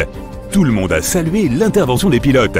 C'était un atterrissage incroyablement difficile, surtout à cette vitesse et dans ces conditions si dangereuses. Le commandant de bord lui-même a avoué que peu de pilotes ont ainsi l'occasion de mettre en pratique tout ce qu'ils apprennent pendant leur formation. Du moins, pas à un tel point. Il a dit qu'il était fier de son équipage et soulagé que tout le monde ait survécu. Et il n'a plus jamais piloté d'avion de ligne. Le ciel est-il comme un désert? Un avion de ligne peut-il aller plus vite que la vitesse du son? Peut-on réparer un avion avec un morceau de ruban adhésif? Voyons si tes intuitions sont bonnes dans ce super quiz mythe ou réalité sur les avions. N'oublie pas de noter tes bonnes réponses et de partager ton score dans les commentaires. Alors, en voici une première pour toi. Les avions de ligne sont plus économes en carburant que ta voiture. Vrai ou faux? Eh bien, c'est vrai. Les vols commerciaux sont plus économes en carburant par personne et par kilomètre que les voitures, et ce depuis plus d'une décennie. Des technologies plus avancées et un plus grand nombre de passagers par avion ont permis de réduire la consommation d'énergie des voyages en avion de près de 74%. Quant aux voitures, la baisse n'a été que de 57%. Ok, qu'est-ce que tu penses de ça? Il n'y a pas de rangée 13 dans un avion. Maintenant que j'y réfléchis, je n'ai jamais vu de 13A ni aucune lettre à côté de ce numéro sur une carte d'embarquement. Et toi? C'est vrai, mais seulement en partie. Dans les pays où l'on considère que le nombre 13 porte malheur, il n'existe pas de rangée 13. Mais dans d'autres pays, le numéro manquant sera différent en fonction des superstitions locales. Ouvrir une porte d'avion pendant un vol est un véritable risque pour la sécurité. Cela semble plutôt terrifiant, mais est-ce vrai? Te détendre, ce n'est qu'un mythe.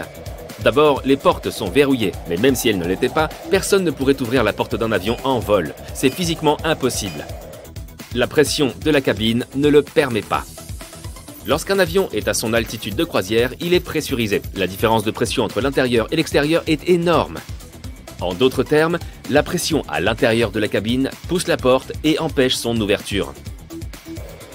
Encore mieux, les portes d'avion sont dites portes de type bouchon, ce qui veut dire que le bord intérieur est plus large que le bord extérieur. Ainsi, elles fonctionnent comme le bouchon d'une baignoire, bloquant l'ouverture de manière tout à fait sécurisée. Ta peau est plus sèche dans un avion qu'elle ne le serait au milieu du Sahara. Qu'est-ce que tu en dis? Si tu penses que c'est vrai, tu as tout à fait raison.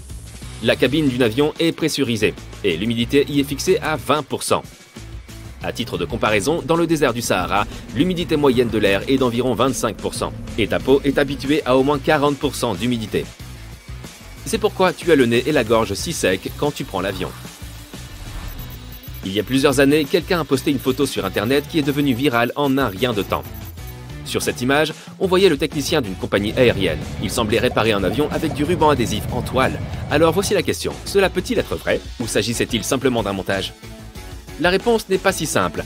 Il ne s'agissait pas d'un ruban adhésif ordinaire, donc en partie ce fait est un mythe. Mais il s'agissait bien d'une sorte de ruban adhésif, connu sous le nom de speed tape. Il coûte environ 700 dollars par rouleau.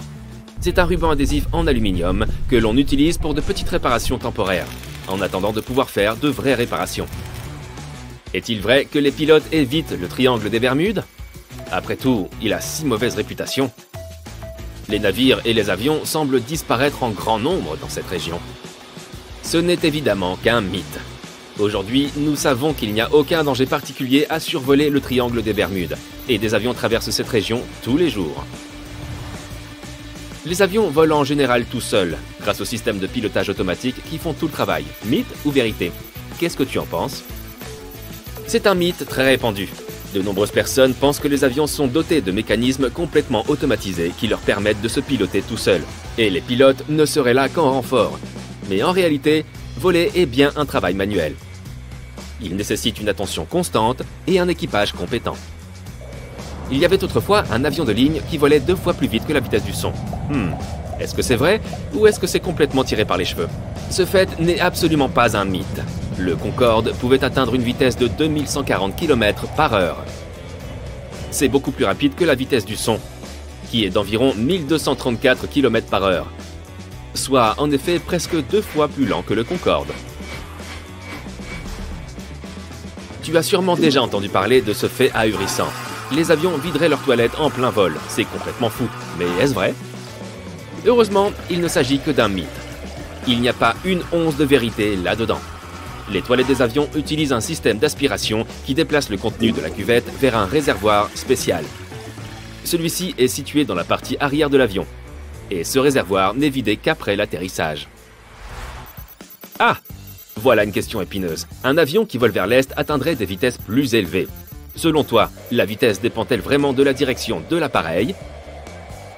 Et... C'est vrai. Cela est rendu possible par les vents de haute altitude, également connus sous le nom de courant jet. Ils soufflent à une vitesse comprise entre 241 et 482 km/h. Et comme notre planète tourne d'est en ouest, les avions qui se déplacent dans cette direction peuvent utiliser ces vents pour se déplacer plus rapidement.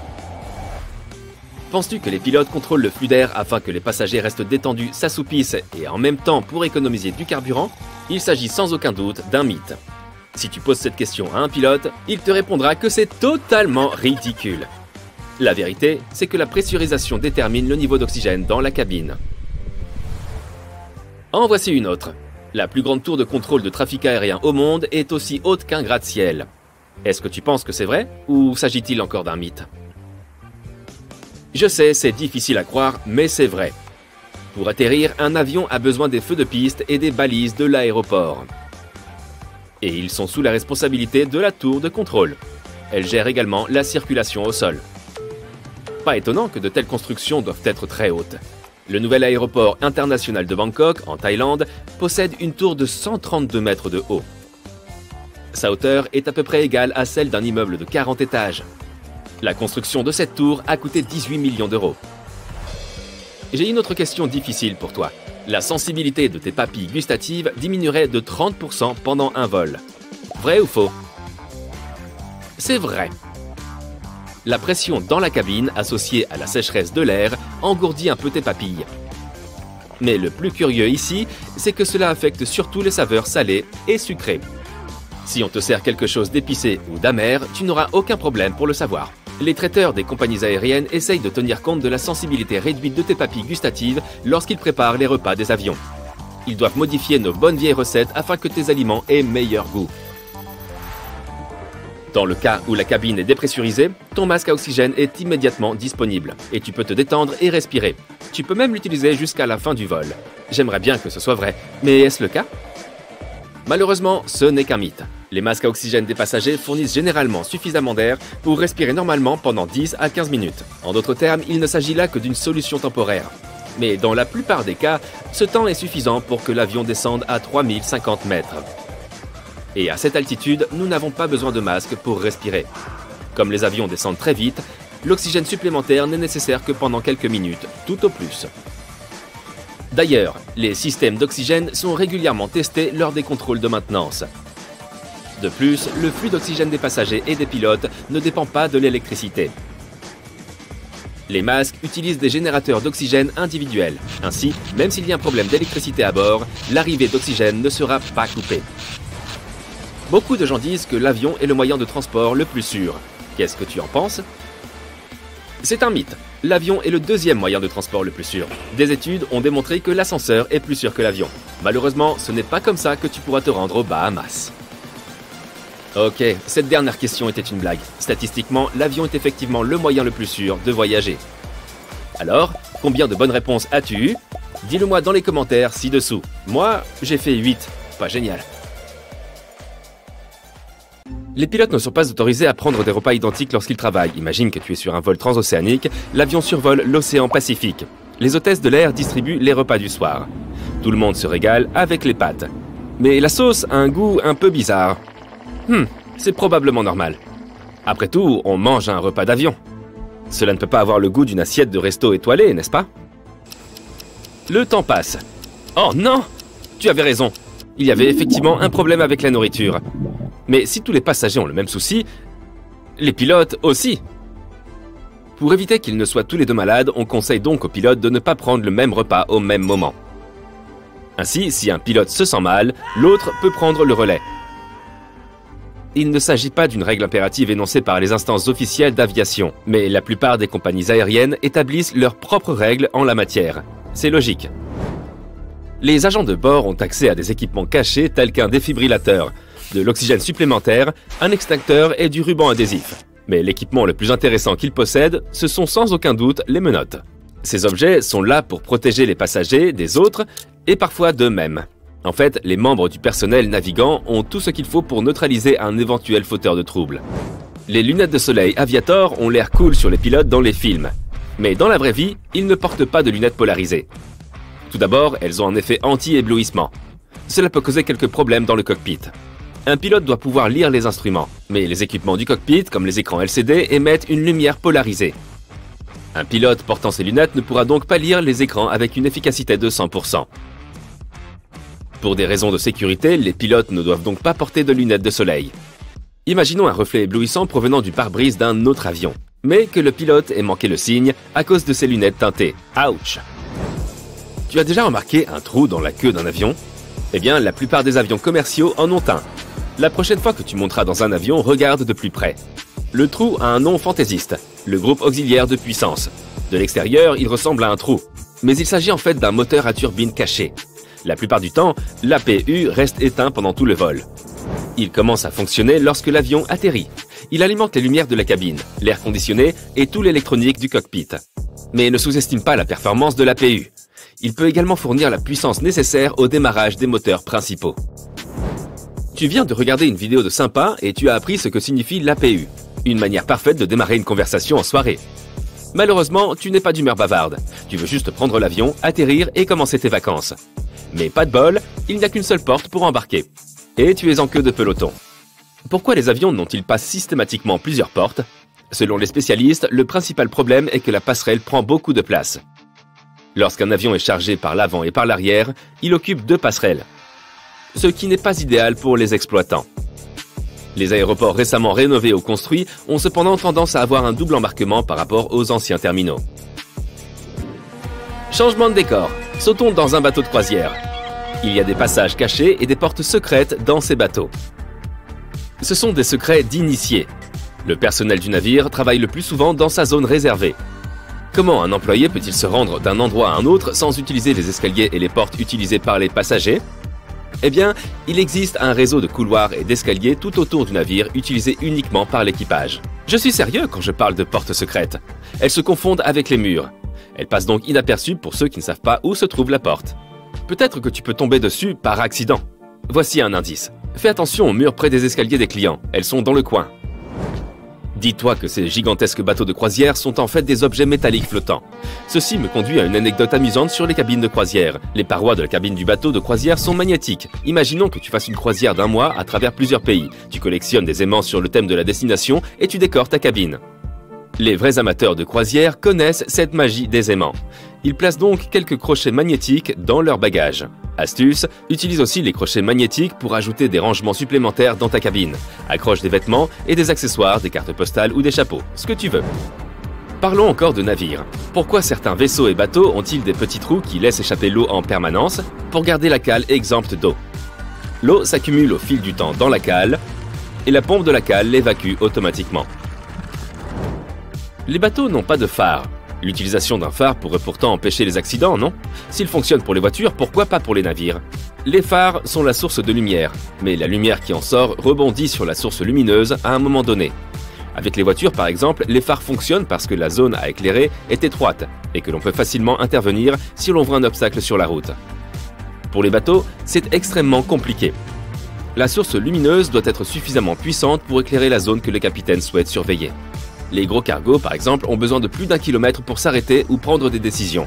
De plus, il faut imaginer à quel point la lumière du navire doit être plus intense pour éclairer toute la zone située devant lui.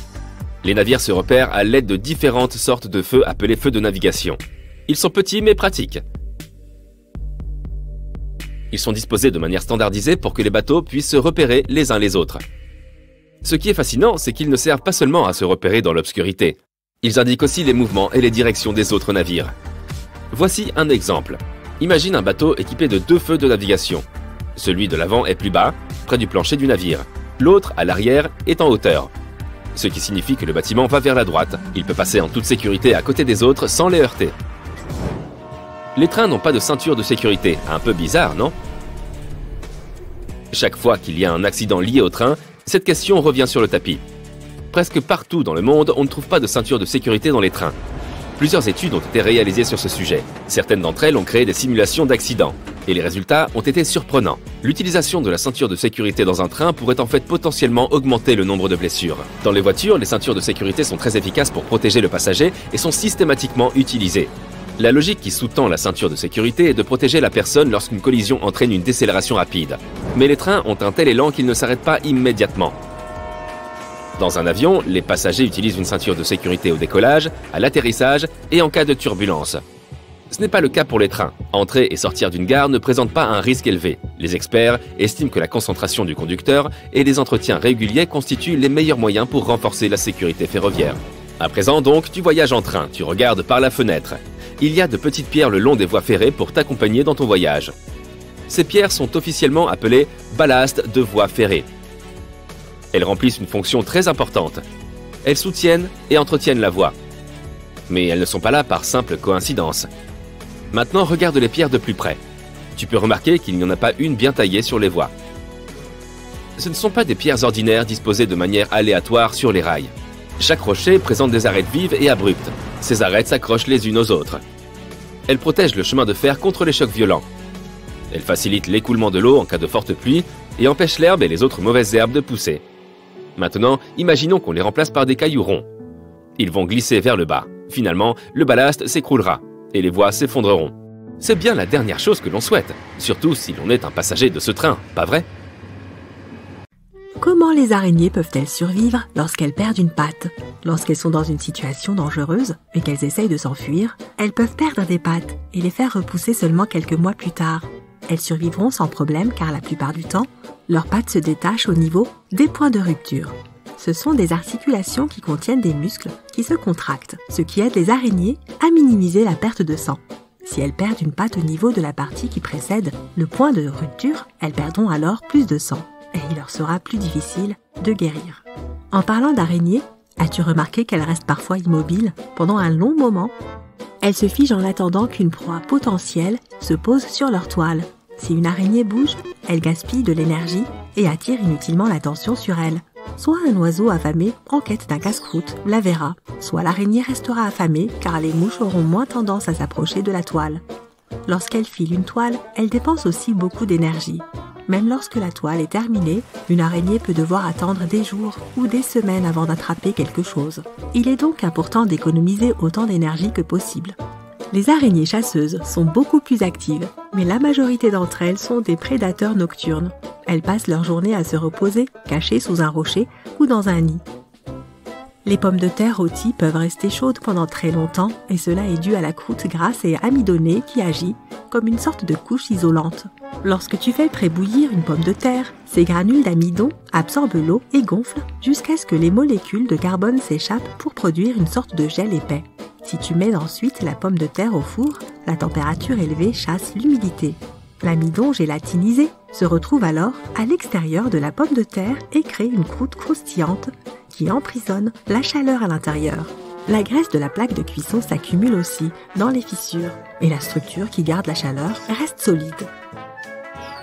Les oiseaux ne s'électrocutent pas en se posant sur les lignes électriques car ce n'est pas la tension qui peut leur faire du mal, mais les différences de tension sans lesquelles l'électricité ne circulerait pas. Donc si un oiseau se tient sur une seule ligne électrique à 35 000 volts, par exemple, l'absence de différence de tension permet à l'animal de rester en sécurité. Mais s'il étend accidentellement ses ailes et touche une autre ligne électrique qui est à une tension différente, cela ne se terminera pas bien pour lui. C'est la raison pour laquelle les compagnies d'électricité s'assurent qu'il y ait beaucoup d'espace entre les câbles. Tu t'es déjà demandé pourquoi les pilotes d'avion n'essayent pas d'atterrir sur l'herbe lorsque le train d'atterrissage est bloqué?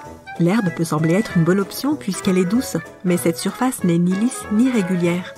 Lorsque la pression est élevée, l'atterrissage sur l'herbe peut entraîner des mouvements imprévisibles et causer des problèmes tels que la formation de structures qui se produit à cause des rebonds et de la pression inégale. Cela peut même entraîner une fuite de carburant et empêcher l'ouverture des portes. Les crânes chauves ont tendance à être brillants alors qu'ailleurs sur le corps humain, la peau ne l'est pas. La plupart de notre peau est recouverte de minuscules poils qui lui donnent une sorte d'aspect velouté de duvet de pêche. Dans le cas de la calvitie masculine, les follicules pileux ont tendance à rétrécir et à se transformer en cellules de peau, ce qui signifie qu'il n'y a pas de cheveux du tout. Le cuir chevelu est particulièrement brillant grâce aux glandes sébacées. Elles produisent et sécrètent une sorte de matière huileuse qui protège notre peau. Les glandes sébacées sont situées sur toute notre peau, mais le cuir chevelu en compte beaucoup plus. Cette huile recouvre donc la peau, ce qui la transforme en une surface plus réfléchissante. Les chats domestiques se miaulent rarement les uns envers les autres, mais ils deviennent bruyants avec les humains, et cela pourrait être lié à la domestication. Le processus d'apprivoisement des chats a commencé il y a près de 10 000 ans. Avant cela, les chats étaient plutôt solitaires, ils rencontraient rarement d'autres chats. Ils n'avaient donc pas besoin d'utiliser leur voix pour communiquer entre eux. À la place, ils communiquaient grâce à leur odorat, ce qui incluait des choses comme se frotter contre un certain objet, par exemple un arbre. Ils n'avaient même pas besoin de se retrouver face à d'autres membres de leur espèce pour envoyer un message, et c'est aussi de cette façon qu'ils communiquent principalement aujourd'hui. Mais les humains n'ont pas un aussi bon odorat que les chats, alors ces créatures intelligentes ont dû trouver un moyen de nous envoyer des messages tout en obtenant ce qu'elles voulaient de nous, et cela s'est avéré être le miaulement. Si tu prévois une excursion d'une journée dans un désert, par exemple le Sahara en Afrique du Nord, tu voudras apporter une bonne crème solaire et beaucoup d'eau bien sûr, mais aussi un sac de couchage bien douillet si tu prévois d'y passer la nuit. Les déserts deviennent très froids pendant la nuit. Dans le Sahara, les températures passent d'un maximum moyen de 38 degrés pendant la journée à moins 4 degrés pendant la nuit. Cette variation spectaculaire se produit à cause de deux facteurs principaux, l'humidité et le sable. Le sable ne retient pas très bien la chaleur. Lorsque la lumière et la chaleur du soleil atteignent un désert, les grains de sable de la couche supérieure absorbent la chaleur, mais ils la rejettent dans l'air assez rapidement. Ainsi, pendant la journée, le sable rayonne l'énergie provenant du soleil, ce qui finit par chauffer l'air et entraîne des températures extrêmement élevées. Mais pendant la nuit, le sable perd à nouveau rapidement de la chaleur. Et cette fois, il n'y a pas de lumière du soleil qui réchauffe le désert. Cela rend le sable encore plus froid et conduit à une température très basse. Dans les déserts arides d'Atacama au Chili et le Sahara, l'humidité est extrêmement faible. Cela signifie que la quantité de vapeur d'eau dans l'air est presque nulle. Or, contrairement au sable, l'eau stocke bien la chaleur. La vapeur d'eau dans l'air piège la chaleur près du sol. C'est comme si tu recouvrais le sol d'une énorme couverture. Cela l'empêche de se dissiper dans l'atmosphère. De plus, Lorsque l'air a un taux d'humidité élevé, il a besoin de plus d'énergie pour se réchauffer. Cela signifie qu'il faut plus de temps pour que cette même énergie disparaisse et que l'environnement se refroidisse. Comme il n'y a presque pas d'humidité dans les déserts, ces zones peuvent à la fois se réchauffer et se refroidir rapidement. Si tu chauffes l'eau de ton thé au micro-ondes, il aura moins bon goût que lorsqu'il est préparé avec une bouilloire. C'est parce que la température du liquide est le facteur principal d'un bon thé l'eau doit atteindre l'ébullition pendant un certain temps avant que tu ne la verses sur les feuilles de thé. Qu'elles soient en vrac ou en sachet, c'est plutôt facile à faire avec les bouilloires à thé, qu'elles soient électriques ou sur la cuisinière. Lorsque le brûleur ou l'élément chauffant électrique est allumé, l'eau au fond du récipient se réchauffe, et comme elle se réchauffe, l'eau dans le reste de la bouilloire arrive au point d'ébullition. A l'inverse, un micro-ondes ne chauffe pas de bas en haut. Il crée des ondes électromagnétiques qui sautent aléatoirement autour du four. Tu l'as probablement remarqué lorsque tu essayes de réchauffer des restes. Ils finissent par être partiellement froids à certains endroits et très chauds à d'autres. La même chose se produit avec l'eau car il est difficile de contrôler l'énergie des micro-ondes. Un liquide trop chaud n'est pas non plus bon pour le thé. Lorsque l'eau dépasse 100 degrés, qui est son point d'ébullition, elle peut détruire les composés qui donnent à un thé sa saveur spécifique. Tu t'es déjà demandé pourquoi les fiches électriques américaines ont des trous dans les broches? L'histoire remonte au début du XXe siècle, lorsque Harvey Hubble Jr. a inventé différents types de fiches électriques. Il a commencé par la fiche électrique détachable, qui a été la toute première de ce type. Certaines de ces conceptions avaient des broches avec des encoches qui s'alignaient avec les petites bosses à l'intérieur des prises électriques. Ce système d'encoches et de bosses permettait de maintenir les broches en place lorsque les gens inséraient une fiche dans une prise. À un moment donné, ces indentations ont cédé la place à des trous qui fonctionnent de la même manière, mais ce n'est qu'une partie de l'histoire. La plupart des prises modernes n'ont même plus les bosses.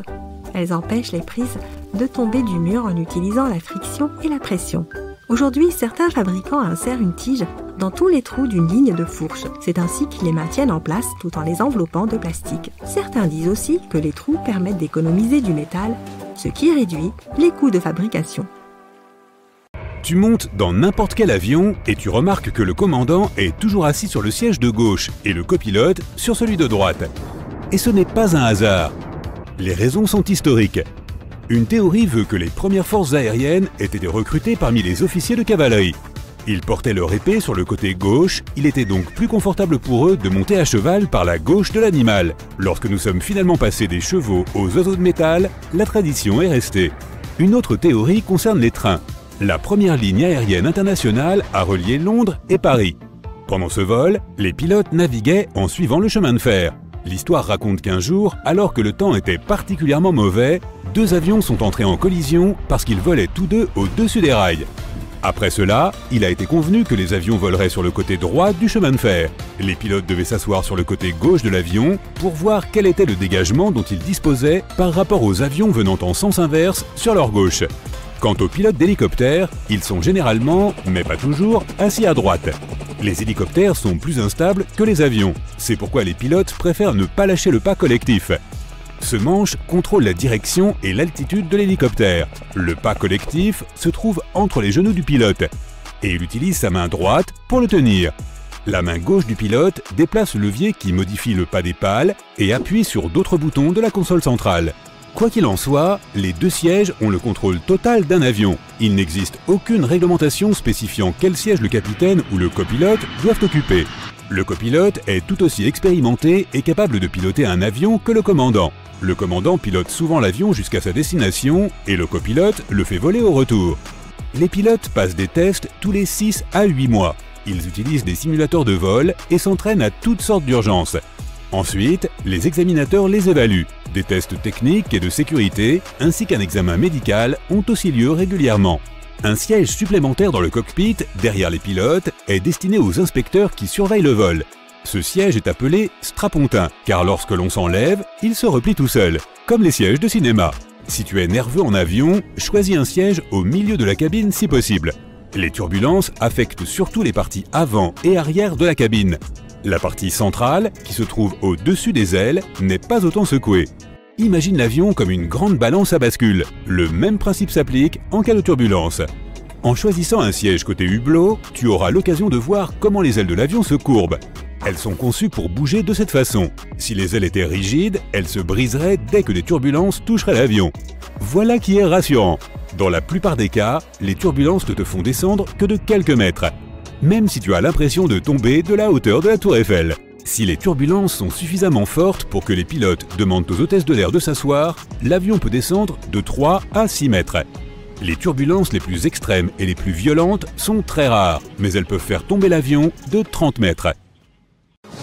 Il pleut à verse dehors quand on monte dans un avion. Si tu étais en voiture, il te suffirait de faire fonctionner les essuie-glaces et d'allumer les phares après avoir tourné la clé dans le contact. Les pilotes font-ils tout cela? Les avions suscitent tant de questions et il est temps d'y répondre. Les avions ont-ils des essuie-glaces? Oui, les avions commerciaux en ont, mais ils ne sont utilisés que pendant le roulage, le décollage et l'atterrissage. Lorsqu'un avion atteint son altitude de croisière, les pilotes arrêtent les essuie-glaces. La vitesse de l'avion est suffisamment rapide pour nettoyer les pare-brises de la pluie. Les essuie-glaces peuvent être absents sur les avions monomoteurs parce que le courant d'air des hélices souffle assez fort pour écarter l'eau. Que se passe-t-il lorsqu'un avion perd un moteur en vol?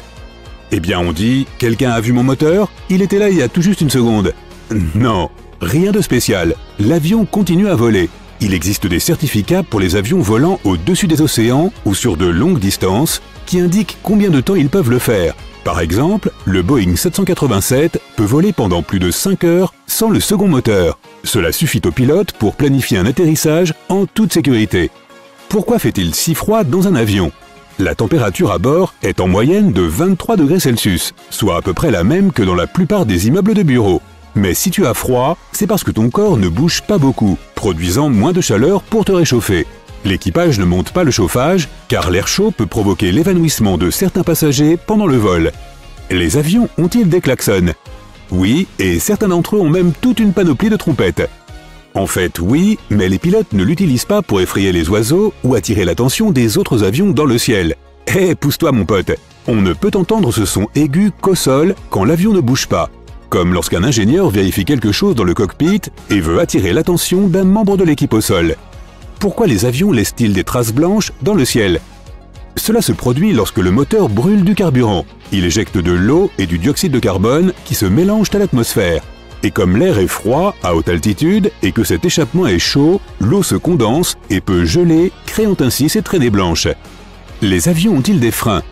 Oui, il existe des freins multidisques fabriqués dans un matériau à base d'acier au carbone, similaire à celui de ta voiture. Mais les utiliser ne suffit pas pour arrêter l'avion lorsqu'il touche le sol. Le système de freinage comprend également différentes surfaces qui glissent hors des ailes et entravent la circulation de l'air. Une porte d'avion peut-elle s'ouvrir en plein vol? La pression de la cabine est la force qui empêche cela.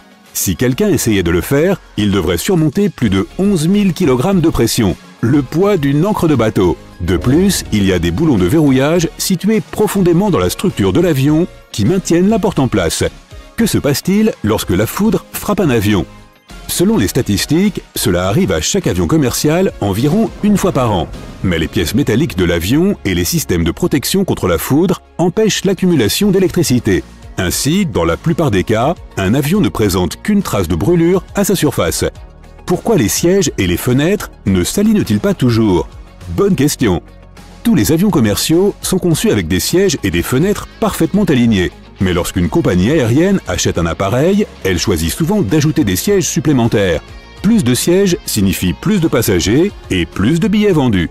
Et moins de vues et moins d'espace pour les jambes pour nous. Tu vois le délire? Pourquoi les agents de bord touchent-ils le compartiment supérieur? On pourrait croire qu'ils vérifient s'il est bien fermé. Mais non, ils utilisent une rampe cachée au fond du compartiment supérieur pour marcher plus facilement dans le couloir. À quoi servent ces marques blanches en spirale sur les moteurs? Comme le personnel au sol porte des protections auditives, il ne peut pas se fier à ses oreilles pour décider si l'approche de l'avion est sûre. Le fait de voir le tourbillonnement des moteurs d'avion les incite à se tenir à l'écart de la zone. Pourquoi y a-t-il des trous dans les hublots des avions? Ces fenêtres ont en fait trois vitres de plexiglas.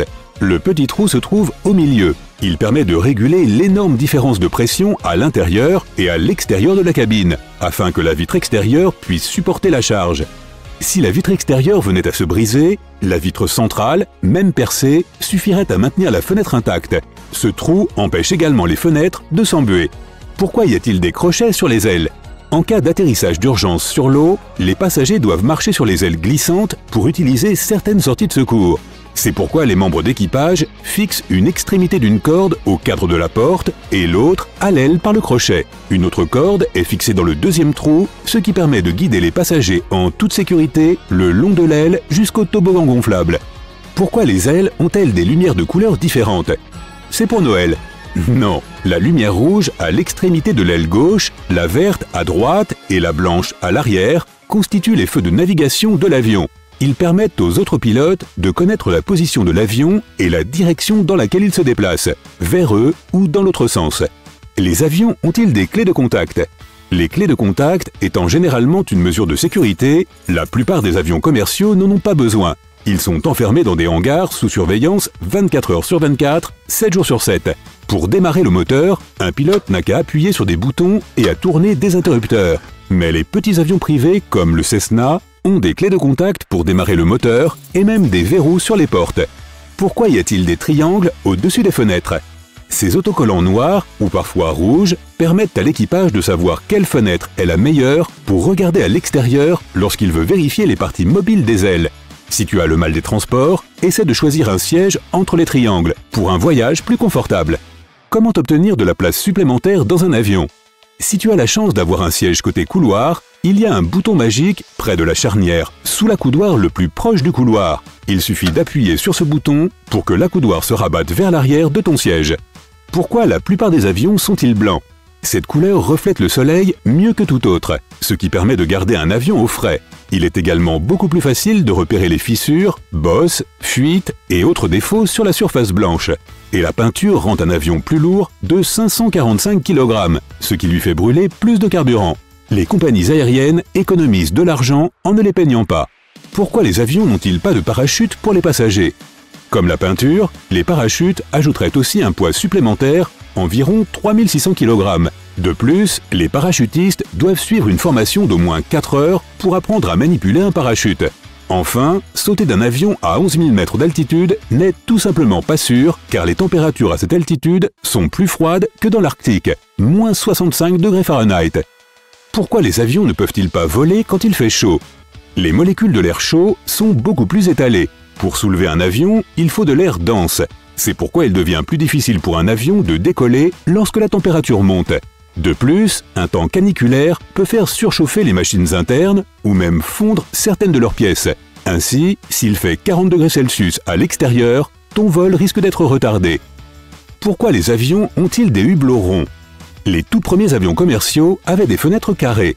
Mais au bout d'un certain temps, ils ont commencé à voler à une altitude plus élevée qui exigeait que la cabine soit pressurisée. La pressurisation et la dépressurisation fréquentes ont déformé et même cassé les fenêtres avec des coins. Elles ont été remplacées par des fenêtres rondes car elles résistent beaucoup mieux à la pression. Comment fonctionnent les masques à oxygène? Très bien en fait. Si la cabine est dépressurisée à l'altitude de croisière, elle perd de l'oxygène. Les masques fournissent cela, mais seulement pendant 15 minutes. Mais c'est bon, c'est assez long pour que le pilote descende à moins de 3000 mètres là où l'air a plus d'oxygène et où les gens peuvent respirer normalement. Qu'est-ce qui cause les turbulences? Ton voyage secoue un peu pour trois raisons principales. Les tempêtes, les montagnes et les courants d'air. Tout comme un océan, l'air crée des vagues lorsqu'il rencontre une montagne. Et parfois, il n'a nulle part où aller si ce n'est dans les forts courants qui affectent un avion. Les courants de jet sont des bandes de vent rapides qui apparaissent lorsque des masses d'air chaud entrent en collision avec des masses d'air froid. Les nuages d'orage repoussent l'air créant des vagues imprévisibles. Pourquoi les avions déversent-ils parfois du carburant? En cas d'atterrissage d'urgence, les pilotes doivent rapidement se débarrasser de leur excès de poids, puisqu'ils ne l'ont pas brûlé et doivent arriver sur la piste de destination aussi légers qu'ils devraient l'être. Plus l'avion est léger, plus il touchera le sol en douceur. Donc, pas de pneus éclatés ou d'incendie. Pourquoi les portes sont-elles du côté gauche? Le commandant de bord est généralement assis de ce côté, ce qui facilite l'alignement de l'avion avec la passerelle de l'aérogare. L'avion est ravitaillé en carburant et les bagages sont chargés du côté droit. Si les passagers arrivent sur la gauche, cela ne gêne pas le personnel. Pourquoi réduisent-ils l'intensité des lumières pendant le décollage et l'atterrissage? Il faut jusqu'à 30 minutes à nos yeux pour s'adapter complètement à un environnement sombre. En réduisant la lumière la nuit ou au crépuscule, cela permet de préparer les passagers au cas où ils devraient emprunter une sortie de secours. Les lumières s'éteignent pendant la journée pour économiser la puissance des moteurs. Pourquoi la plupart des sièges d'avion sont-ils bleus? Cette couleur est psychologiquement associée à la sécurité et à la fiabilité, de sorte que les passagers fatigués par le vol se sentent moins anxieux. En plus, les taches et la saleté sont moins visibles sur les sièges bleus. Maintenant, on sait.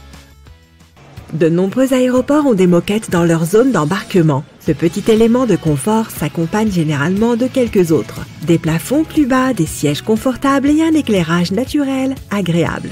Tout cela coûte plus cher aux aéroports et les moquettes ne sont pas aussi faciles à nettoyer que les sols durs mais elle crée une sensation agréable pour les passagers qui attendent leur vol, ce qui les rend plus détendus. Pourtant, il ne s'agit pas seulement d'un geste de bonne volonté de la part des aéroports. Selon des recherches comportementales, les passagers apaisés sont 7 à 10% plus susceptibles de faire du shopping et d'acheter réellement quelque chose dans la zone duty free. Donc en investissant dans le confort des passagers, les aéroports augmentent en fait leurs revenus. Si tu as toujours voulu savoir ce qu'il advient de ton bagage lorsque tu es à bord de l'avion, la réponse courte est que le personnel de l'aéroport ne le sait pas une fois qu'il a quitté son territoire et qu'il ne s'en soucie probablement pas. Désolé de te le dire. Les scanners lisent le code barre et trient les bagages automatiquement en fonction de leur destination. Les trois principales tâches des bagagistes de l'aéroport sont de déplacer les sacs de la zone d'enregistrement à la porte d'embarquement, de les déplacer d'une porte à l'autre lorsque tu as une correspondance et de les déplacer de l'avion à la zone de récupération des bagages. Et c'est tout. Donc si tes bagages ne se déplacent pas assez vite, ils peuvent être en retard pour ton vol de correspondance. Ou à l'inverse, ton bagage peut arriver à ta destination avant toi parce que tu es bloqué au contrôle des passeports. Un autre problème peut survenir si tu oublies d'enlever une ancienne étiquette indiquant une destination différente. Dans ce cas, le scanner pourrait envoyer ton bagage dans le mauvais pays. La plupart des aéroports sont équipés de cuisines géantes, où sont confectionnés les plateaux repas destinés aux passagers. Ces cuisines préparent généralement des aliments pour différentes compagnies aériennes en même temps. Et comme cette nourriture d'avion si savoureuse doit être cuisinée environ 6 à 10 heures à l'avance, les cuisines fonctionnent 24 heures sur 24, 7 jours sur 7. Et aussi surprenant que cela puisse paraître, le menu de ton vol est élaboré jusqu'à un an à l'avance. C'est une pratique courante pour la plupart des compagnies aériennes, car chaque ingrédient compte et fait augmenter les dépenses. D'ailleurs, fait intéressant, une compagnie aérienne a réussi à économiser 40 000 dollars après avoir retiré une seule olive de chaque salade qu'elle servait sur ses vols. Le personnel de l'aéroport demande parfois aux passagers de se frotter les mains sur un morceau de tissu avant de le mettre dans une machine spéciale. Cela peut sembler bizarre, mais c'est totalement inoffensif. Il s'agit simplement d'un contrôle de routine effectué par une machine appelée atomiseur avant que leur journée de travail ne commence. Les employés mettent des échantillons de produits chimiques dangereux dans la machine. La machine mémorise ces odeurs et au cas où les mains d'une personne exaltent ces produits chimiques, elle alerte le personnel de l'aéroport. Tu as certainement déjà vécu ce qui suit. Tu arrives au contrôle de sécurité et soudain, il s'avère que tu as quelque chose d'interdit dans ton bagage à main. Mais ne t'inquiète pas, tous les objets saisis lors de l'inspection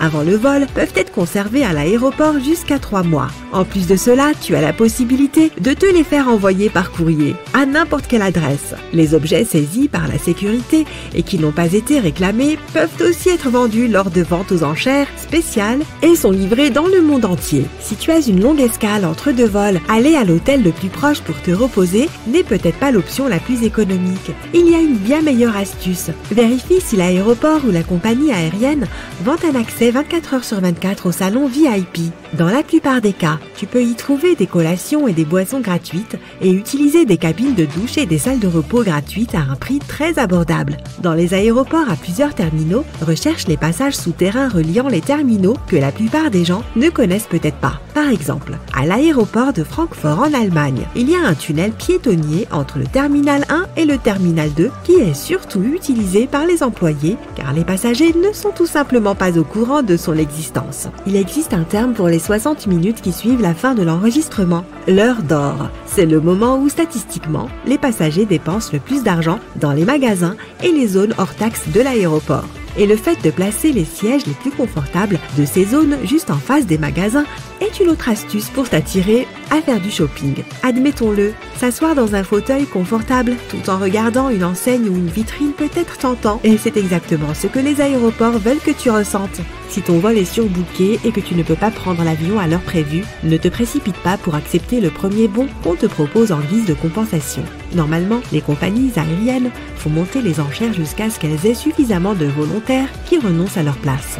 Et si elles ne le font pas et que tu as été refusé involontairement, tu peux insister pour obtenir un remboursement en espèces à la place. En fonction du prix de ton billet et de l'heure de ton retard, tu pourrais avoir droit à un montant allant jusqu'à 1300 euros. La plupart des aéroports engagent des experts appelés profileurs. Ces personnes pratiquent ce qu'on appelle la spot ou technique d'inspection des passagers. Par observation, ils analysent soigneusement les expressions faciales, les gestes et le comportement afin de détecter les personnes suspectes. Leur travail consiste à remarquer les signes non verbaux d'anxiété comme les personnes qui se mordent les lèvres, se démangent ou regardent beaucoup autour d'elles.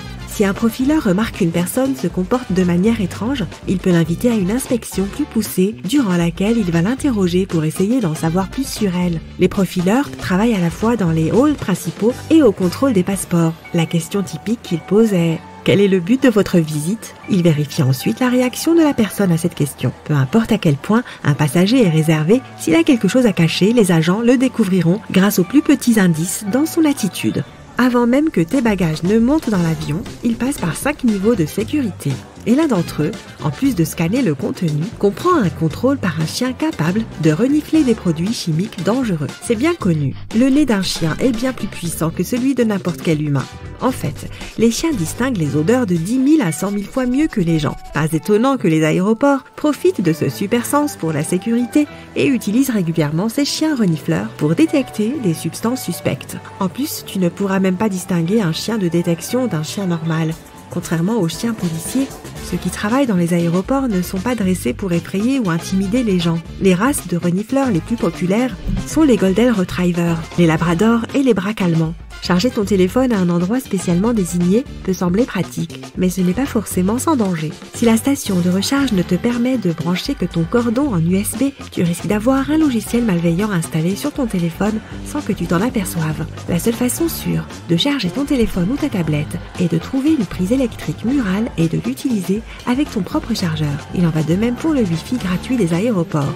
En dehors du fait que les aéroports te demandent le plus souvent de t'authentifier Quelqu'un peut facilement accéder à tes données lorsque tu utilises un hotspot Wi-Fi non protégé. Il est plus sûr d'utiliser tes données mobiles. Mais si tu dois absolument utiliser le Wi-Fi de l'aéroport, efface ou crypte toutes tes informations importantes sur ton appareil. Il peut être exaspérant de devoir sortir ton ordinateur portable de ta valise à chaque fois au contrôle de sécurité. Mais le personnel de l'aéroport a besoin de bien voir ton appareil pour s'assurer que rien n'est caché à l'intérieur. Sur l'écran d'un scanner à rayon X, un ordinateur portable ressemble à un objet semi-transparent avec un disque dur, un lecteur de CD et autres composants clairement visibles. Mais les agents de sécurité ne peuvent pas voir ce qui se trouve derrière certaines de ces pièces. Par exemple, une batterie dense est plutôt volumineuse. Les gens ont tendance à choisir la file de sécurité la plus proche d'eux. Si cette file s'avère être bondée, Regarde simplement autour de toi après le contrôle des pièces d'identité et des billets. Tu verras peut-être un autre point de contrôle avec beaucoup moins de monde. Certains points de contrôle de l'aéroport sont situés aux confins du terminal et les passagers ne les remarquent pas. Faire une demande de pré-contrôle de sécurité peut être un grand gain de temps pour voyager à l'intérieur et à l'extérieur des États-Unis. Être membre de ce programme présente de grands avantages. Tout d'abord, le passage de la sécurité et du contrôle des passeports est plus rapide. Si tu as opté pour le pré-contrôle, tu n'auras pas à enlever tes chaussures, à retirer ta ceinture ou à placer des objets comme les liquides et ton ordinateur portable dans des bacs spéciaux. Si tu ne prends pas l'avion depuis ou vers les États-Unis, tu peux chercher des services similaires disponibles dans ton pays tu voyages en classe économique, mais que tu n'aimes pas ça, d'ailleurs qui aime ça? Enregistre-toi en ligne et vérifie les options de siège environ 4 jours avant ton vol. C'est à peu près à ce moment-là que les compagnies aériennes commencent à surclasser les sièges et tu pourrais obtenir un surclassement en classe d'affaires pour une somme modique ou parfois même gratuitement. Tu peux aussi demander un surclassement lorsque tu es déjà à l'aéroport. La plupart des gens oublient cette possibilité ou s'en moquent tout simplement. Alors, tente ta chance. Avec une population d'environ 730 000 habitants seulement, l'Alaska compte près de 8000 pilotes, soit plus de 1% de la population de cet État. On y trouve 6 fois plus de pilotes et 16 fois plus d'avions par personne que dans le reste des États-Unis. Cela peut sembler étrange pour la plupart des gens, mais l'avion fait partie intégrante de la vie en Alaska. Bien que ce soit le plus grand État d'Amérique, plus grand que les trois autres plus grands États réunis, il possède l'un des plus petits réseaux routiers du pays seulement 20% des terres sont accessibles par la route. Donc avoir un bateau ou un avion facilite grandement les déplacements d'un point A à un point B. Mais avoir moins aménagé le territoire comporte aussi ses avantages. L'Alaska compte 16 parcs nationaux, plus de 12 000 rivières et environ 100 000 glaciers. Si tu veux te reconnecter avec la nature, l'Alaska est un endroit incroyable à visiter. Tu peux même y voir des aurores boréales, quand la plupart des gens pensent à la côte, ils imaginent des plages dorées et des palmiers, mais c'est en fait l'Alaska qui possède le plus de kilomètres de côte aux États-Unis. Aucun autre État ne s'approche du compte, l'Alaska ayant 5 fois plus de côtes que la Floride, qui arrive en deuxième position. L'Alaska a par ailleurs la plus faible densité de population. Sa population est si faible par rapport à sa taille que si Manhattan avait une densité similaire, seulement 16 personnes y vivraient. La ville de New York est bien plus petite que l'Alaska en termes de taille, mais davantage de personnes y vivent que dans près de 40 autres États. Il y a près de 7000 habitants au kilomètre carré dans la ville. Et pendant qu'on parle des États américains, une seule lettre n'apparaît dans aucun de leurs noms. Le Q. L'Arizona produit tellement de coton chaque année qu'elle pourrait fabriquer deux t-shirts pour chaque Américain. L'Empire State Building est si grand qu'il a même son propre code postal, 10118 c'est comme une ville à part entière. Si tu es dans la rue et que quelqu'un laisse tomber un centime du haut de l'Empire State Building, ne t'inquiète pas. Plus il tombe vite, plus la résistance de l'air augmente, donc il n'atteindra pas une vitesse assez élevée pour causer beaucoup de dégâts. Mais ça pourrait quand même faire un peu mal. Les scientifiques ont découvert une espèce unique de fourmis qui ne vivent qu'à New York. Elles ont été trouvées dans une seule bande de 14 pâtés de maison. Elles ont été surnommées les Manhattans et ça n'est même pas un jeu de mots, c'est la vérité. Le tout premier vol commercial de passagers aux États-Unis a eu lieu en 1914. Il n'a duré que 23 minutes et n'a parcouru qu'une courte distance en Floride, de Saint-Pétersbourg à Tampa.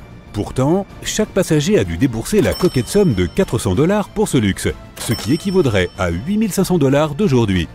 La plus ancienne ville des États-Unis ayant été continuellement habitée est Saint-Augustine, en Floride. Elle a été fondée en 1565. Le mont Everest est célèbre pour être le plus haut sommet du monde, mais ce n'est vrai que si l'on considère les montagnes qui sont au-dessus du niveau de la mer.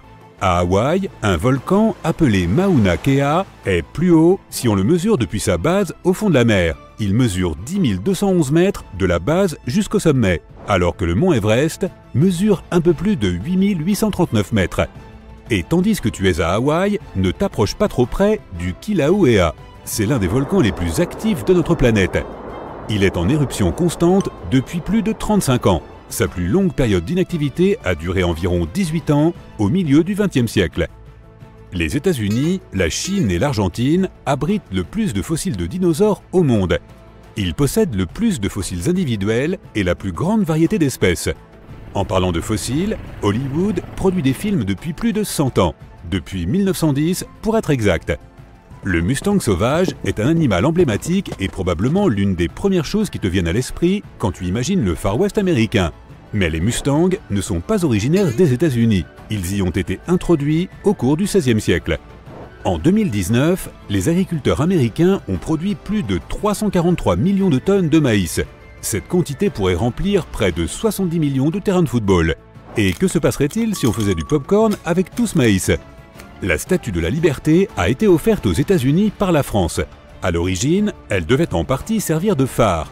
Elle a guidé les navires pendant 16 ans grâce à sa torche qui était visible à 40 km de distance. Les Américains ont décidé de leur adresser un cadeau similaire en retour et ont offert à la France une statue de la liberté quelques années plus tard. Tu peux toujours la voir aujourd'hui aussi, elle se trouve à Paris. Il y a plus de 14 000 restaurants McDonald's aux États-Unis, mais Montpellier, dans le Vermont, est la seule capitale d'État qui n'en est pas. McDonald's a un jour créé des brocolis qui avaient le goût de chewing-gum pour rendre une option saine plus attrayante. Sans surprise, cela n'a pas très bien fonctionné. Le micro-ondes a été conçu par un inventeur nommé Percy Spencer. Son incroyable création n'a été récompensée que par une prime de 2 dollars, soit 29 dollars actuels, en tenant compte de l'inflation. Les États-Unis impriment 26 millions de billets par jour. Chaque billet peut coûter jusqu'à 11 centimes à produire, principalement en encre et en matériaux et il consomme 9 tonnes d'encre par jour.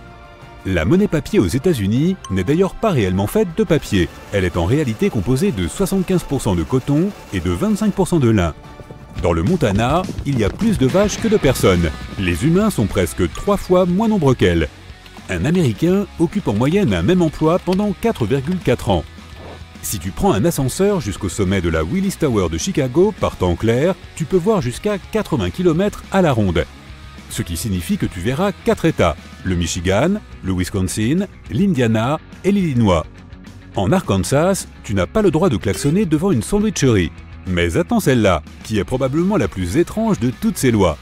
En Géorgie, il est illégal pour un poulet de traverser la route. Pendant ce temps, dans le Connecticut, tu ne pourras pas traverser la rue en marchant sur les mains. Et si tu es à Baltimore, dans le Maryland, tu ne peux pas emmener ton lion au cinéma avec toi.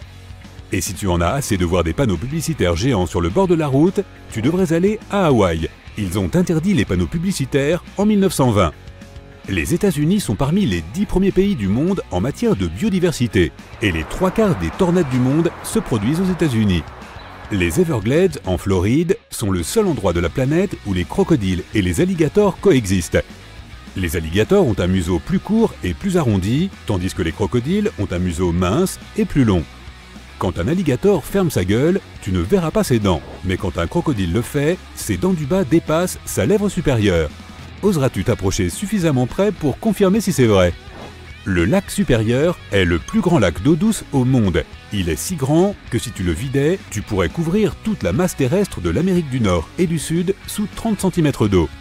Les Américains ont construit le barrage Hoover pour contrôler les inondations, produire de l'énergie hydroélectrique et pour irriguer.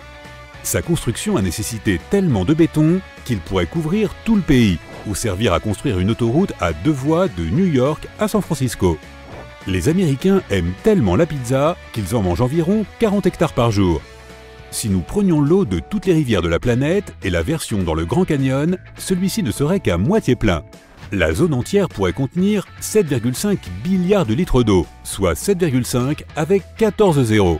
Le titre de l'État où les habitants parlent le plus vite revient à l'Oregon. Des scientifiques ont étudié plus de 4 millions d'appels téléphoniques et ont découvert que l'Oregon, le Massachusetts et les États du Haut-Midwest sont ceux qui parlent le plus vite. Tu peux trouver le mot Peachtree dans le nom de plus de 70 rues d'Atlanta en Géorgie. Peachtree Circle, Peachtree Street, Peachtree Center Avenue et ainsi de suite. De quoi te donner la pêche?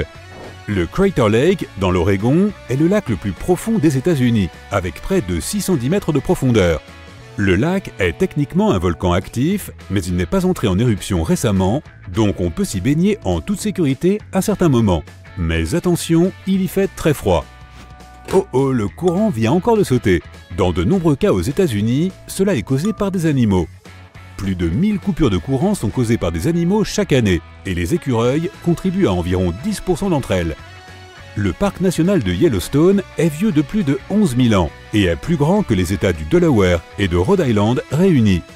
Il compte plus de 10 000 geysers, sources chaudes, mares de boue et autres caractéristiques hydrothermales, soit la moitié du nombre total que tu puisses trouver dans le monde entier. Mais ne cours pas t'y baigner. Les lettres SSSS sur ta carte d'embarquement constituent-elles une raison de t'inquiéter? Qu'est-ce qui est beaucoup plus dangereux que les turbulences? Faut-il essayer d'être le premier à monter dans l'avion? Tu es sur le point de le découvrir. Tu as peut-être remarqué que la plupart des avions ont des sièges bleus. Il n'y a pas de mystère. Les compagnies aériennes choisissent cette couleur car elle est considérée comme ayant un effet calmant. Cette couleur est censée mettre les passagers à l'aise et aider même les voyageurs les plus nerveux à se détendre. Mais il y a aussi une autre raison plus pratique. Les taches, la saleté et les traces sont moins visibles sur un tissu bleu foncé. Ne jette jamais ta carte d'embarquement dans un lieu public. Elle contient des tonnes d'informations sensibles te concernant, notamment ton nom et ton numéro de voyageur fréquent. Ces informations peuvent permettre à quelqu'un d'autre de consulter tes futures réservations, de changer ton siège, voire d'annuler tes vols. La meilleure façon de gérer la carte d'embarquement d'un vol que tu as déjà pris est donc de l'emporter chez toi et de la passer dans une broyeuse à papier. À propos, si tu vois les lettres SSSS ou S sur ta carte d'embarquement, prépare-toi à des contrôles de sécurité supplémentaires. Au lieu de ces lettres, il peut y avoir un motif damier. Quoi qu'il en soit, si tu as l'une de ces marques, ton bagage à main peut également subir une inspection approfondie.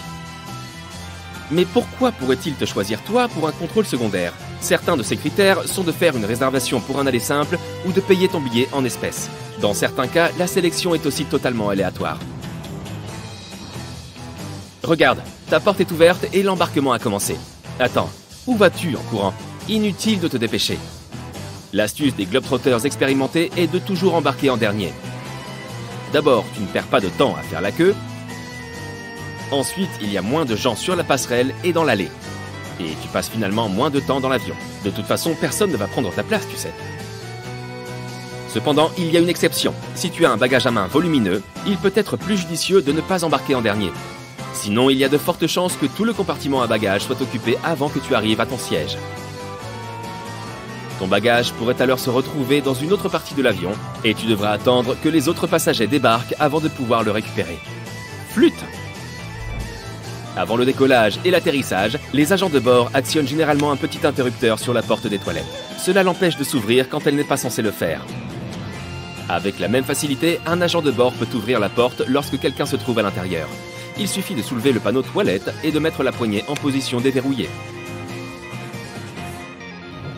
Les pilotes ne se soucient pas franchement des turbulences. C'est parce qu'ils savent qu'il existe une chose bien plus dangereuse que n'importe quelle turbulence. Les courants ascendants. Dans la plupart des cas, les turbulences te font chuter de quelques mètres seulement, même si tu as l'impression de tomber de l'Empire State Building. Si la turbulence est suffisamment forte pour que les pilotes demandent aux hôtesses de l'air de s'asseoir, l'avion peut descendre de 3 à 6 mètres. Mais en fait, les turbulences les plus extrêmes et les plus violentes sont très rares. Un courant ascendant, lui, est une grande masse d'air, faisant partie d'une tempête ou d'un autre phénomène météorologique qui se déplace vers le haut. Or, les pilotes ne voient pas les courants ascendants sur leur radar la nuit. Et lorsqu'un avion en rencontre un, c'est comme s'il roulait sur un énorme dodane à 800 km par heure. Un courant ascendant est également extrêmement dangereux, car il peut pousser un avion vers le haut à des altitudes dangereuses. Les avions modernes sont équipés d'un système spécial qui détecte les autres avions, les montagnes et différents objets solides sur leur trajectoire. À 16 km d'un autre avion, et une voix dans le cockpit commence à répéter Trafic Trafic 8 km de plus et la même voix commence à donner des instructions aux pilotes. Les avions peuvent fonctionner avec un seul moteur, même pendant le décollage et l'atterrissage. Une panne simultanée des deux moteurs est presque impossible à imaginer. Mais dans ce cas, un avion ne tomberait pas du ciel comme une pierre. Les pilotes auraient jusqu'à 20 minutes pour trouver un endroit approprié pour atterrir. La façon dont la cabine est pressurisée a un effet important sur tes papilles gustatives. Tu perds jusqu'à 30% de ta capacité à goûter les choses sucrées et salées. En d'autres termes, ce n'est pas que les aliments servis dans les avions ne sont pas goûteux, mais tu ne ressens pas leur saveur. C'est aussi la principale raison pour laquelle les sociétés de catering des compagnies aériennes ajoutent du sel et des épices aux plats qu'elles préparent. Mais tu sais ce qui pourrait t'aider? Des écouteurs anti-bruit. Pour une raison mystérieuse qui a probablement une explication scientifique, le fait de couper tout le bruit environnant peut aider tes papilles gustatives. Chacun de ces dings que tu entends pendant le vol a aussi sa propre signification. Dans la plupart des compagnies aériennes, un boom peu après le décollage indique que le train d'atterrissage est en train de se rétracter. Trois dings consécutifs signifient qu'il y a plus d'urgence qu'un seul. Une sonnerie aiguë informe les membres de l'équipage que leurs collègues ont besoin d'eux dans une autre partie de l'avion. Trois sonneries basses signifient qu'il y a de sérieuses turbulences à venir. Les membres de l'équipage sont censés ranger les chariots de repas, prendre place et attacher leur ceinture. Si tu es un passager nerveux, choisis un siège au milieu de la cabine. Les turbulences affectent principalement les parties avant et arrière de la cabine. La partie centrale qui se trouve au-dessus des ailes ne tremble pas autant. Les pilotes et les copilotes prennent des repas différents. La raison de cette précaution est très simple. Imagine que les deux pilotes mangent le même plat et qu'ils aient une intoxication alimentaire. Dans ce cas, aucun des deux ne sera capable de contrôler l'avion. S'ils veulent toujours avoir le même plat et ne veulent pas accepter de prendre autre chose, il y a un filet de sécurité. Les pilotes ne prennent pas leur repas en même temps. Si un pilote a mangé le plat et se sent toujours bien plusieurs heures plus tard, l'autre pilote peut lui aussi prendre son repas. Que dirais-tu si on te demandait quel est l'endroit le plus dégoûtant dans un avion? Non, ce n'est pas le siège des toilettes. Ce n'est même pas dans les toilettes. Les hôtesses de l'air recommandent de faire particulièrement attention aux appuis-têtes aux pochettes des sièges, aux tablettes et aux ceintures de sécurité. Des expériences ont montré qu'un tiers de toutes les ceintures de sécurité sont couvertes de champignons et de moisissures. La plupart des tablettes sont couvertes de bactéries. Les poches des sièges sont également très sales. Mais les appuis-têtes sont les plus sales de tous. Dans la plupart des cas, les agents de bord n'ont pas le temps de les changer ou de les désinfecter entre les vols. Si le commandant de bord annonce qu'il est en train de terminer des formalités administratives, cela signifie qu'il est occupé à réviser l'itinéraire du vol ou à attendre que le personnel au sol prépare le carnet de vol. Il s'agit d'un journal qui contient le compte-rendu officiel d'un voyage. Certains avions, en particulier les longs courriers, disposent de chambres secrètes où les membres d'équipage peuvent se reposer. Ces chambres, appelées compartiments de repos de l'équipage, sont situées à l'arrière de l'avion ou derrière le cockpit. Un tel compartiment peut compter jusqu'à 10 lits confortables où les agents de bord peuvent se reposer. Les fenêtres de l'avion sont fabriquées en plexiglas super résistant qui peut supporter facilement des vitesses élevées.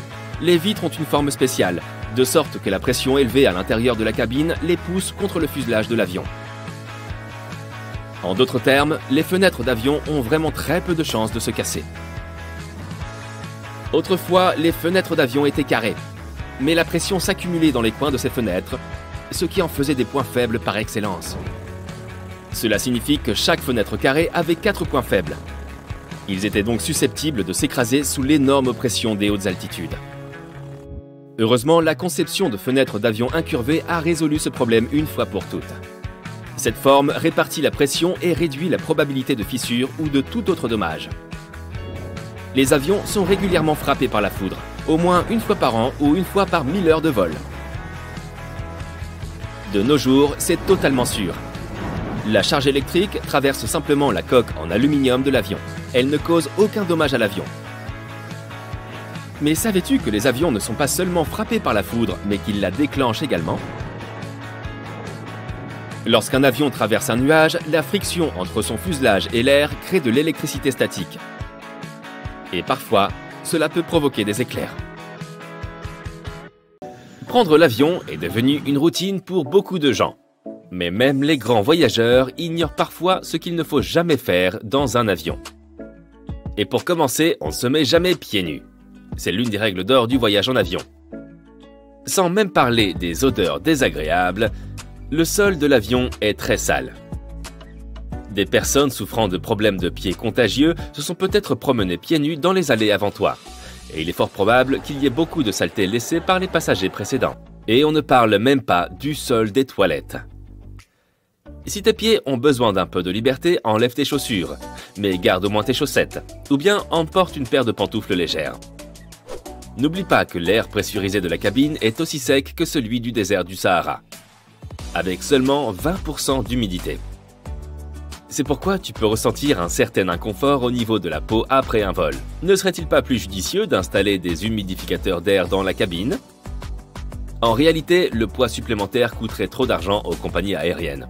De plus, la carlingue de l'avion est principalement composée d'aluminium et d'autres métaux, et l'air humide pourrait entraîner de la corrosion. N'oublie donc pas d'emporter une crème hydratante et de l'utiliser pendant le vol. Remonte toujours ta tablette dès que l'avion commence à se déplacer sur le tarmac, et ne la baisse jamais pendant le décollage et l'atterrissage. Il s'agit d'une mesure de sécurité qui garantit que toi et les autres passagers disposeraient d'un passage dégagé en cas d'évacuation d'urgence. Dans le même ordre d'idées, garde ton siège en position verticale pendant le décollage et l'atterrissage. Tout d'abord, un siège incliné peut sérieusement ralentir une évacuation d'urgence car il bloque la personne assise derrière. Ensuite, plus on est penché vers l'arrière, plus il est difficile de se mettre en position de sécurité lors d'un atterrissage d'urgence. Essaye d'éviter de dormir pendant ou juste après le décollage et l'atterrissage. D'abord, ce n'est pas bon pour ta santé. Le principal problème est que la pression de l'air à l'intérieur de la cabine change très rapidement pendant ces phases du vol. Et cela affecte la pression de l'air dans tes oreilles. Il est donc important d'être vigilant pendant ces phases, de te détendre et de dégager tes oreilles par exemple en baillant ou en avalant fréquemment. Mâcher du chewing-gum fonctionne aussi. Si tu dors, tu ne peux pas le faire, ce qui peut entraîner des dommages permanents. Et bien sûr, il y a la question de la sécurité. La plupart des accidents se produisent au décollage et à l'atterrissage. Si tu dors pendant ces phases, tu risques de ne pas être assez alerte en cas d'urgence. La recommandation suivante vient de l'Agence pour la protection de l'environnement. Selon elle, il est préférable de ne pas boire de boissons chaudes dans l'avion. L'eau utilisée pour préparer le thé et le café ne proviennent pas de bouteilles c'est de l'eau du robinet. Or, les réservoirs d'eau des avions sont souvent vieux et pleins de bactéries. En 2004, une étude a révélé que plus de 12% des échantillons d'eau contenaient des bactéries nocives. Si tu décides malgré tout de boire une boisson chaude dans l'avion, ne te verse jamais toi-même le café ou le thé. Le personnel de bord est formé à cette tâche dans les allées bondées d'un avion en mouvement. Tu éviteras ainsi le risque de te brûler ou de brûler d'autres passagers il est préférable de ne pas commander de Coca-Cola dans un avion. La pression de la cabine provoque beaucoup de mousse. Or, pour des raisons évidentes, les hôtesses ne veulent pas te servir un gobelet rempli de mousse. C'est pourquoi elles ne remplissent que la moitié du gobelet. Attendent que la mousse retombe, puis elles finissent de le verser. Cela peut prendre de longues minutes. Garde ton aérateur ouvert. Tu réduiras ainsi la propagation des germes les avions sont équipés de filtres à air de haute qualité. Ils retiennent jusqu'à 99% de germes en suspension dans l'air. Tu n'as donc rien à craindre, mais n'oublie pas d'essuyer ta tablette. Avec 8 fois plus de bactéries que le bouton de la chasse d'eau des toilettes, c'est l'endroit le plus sale à bord. Une autre chose à éviter est de t'appuyer la tête sur la fenêtre si tu as un siège côté hublot. Tu ne sais pas qui a occupé ton siège avant toi et de toute façon, la vitre risque d'être couverte de germes évite de porter des tongs ou des talons hauts pendant un vol. Ta survie pourrait être en jeu. En effet, ces deux types de chaussures rendent très difficile l'évacuation rapide de l'avion. Si tu portes de talons hauts, tu devras de toute façon les laisser derrière toi au cas où l'équipage utiliserait des toboggans d'urgence lors d'une évacuation. Les talons risquent en effet d'endommager le toboggan et il faudra donc les enlever. Maintenant, demande-toi si tu as vraiment envie de sortir de l'avion pieds nus. Non Alors opte plutôt pour des chaussures robustes avec une semelle solide. Dans ce cas, tu ne te retrouveras pas pieds nus sur un tarmac brûlant ou en pleine nature. Ne mets pas d'objets lourds dans les compartiments supérieurs. En cas de forte turbulence, ces objets risquent de ne pas rester à l'intérieur et en tombant de te blesser ou de blesser d'autres passagers.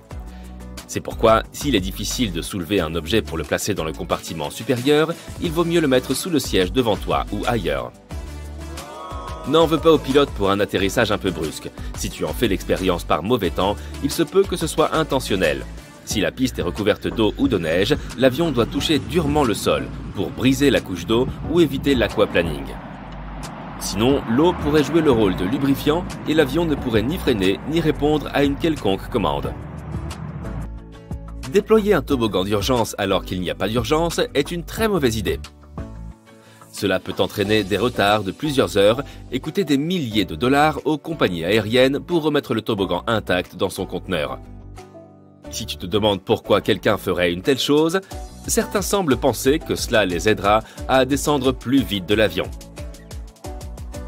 N'ignore pas les instructions du personnel d'ouvrir les stores des hublots pendant le décollage et l'atterrissage. En cas d'urgence, cela leur permettra de voir ce qui se passe à l'extérieur, d'évaluer la situation et d'agir rapidement en organisant l'évacuation. Par exemple, s'il y a un incendie devant une issue, ils redirigeront les passagers vers une autre. Évite d'emporter des déodorants en spray ou de la mousse à raser dans ton bagage à main. Ces deux produits ont tendance à exploser en plein vol et ne sont donc pas autorisés à bord.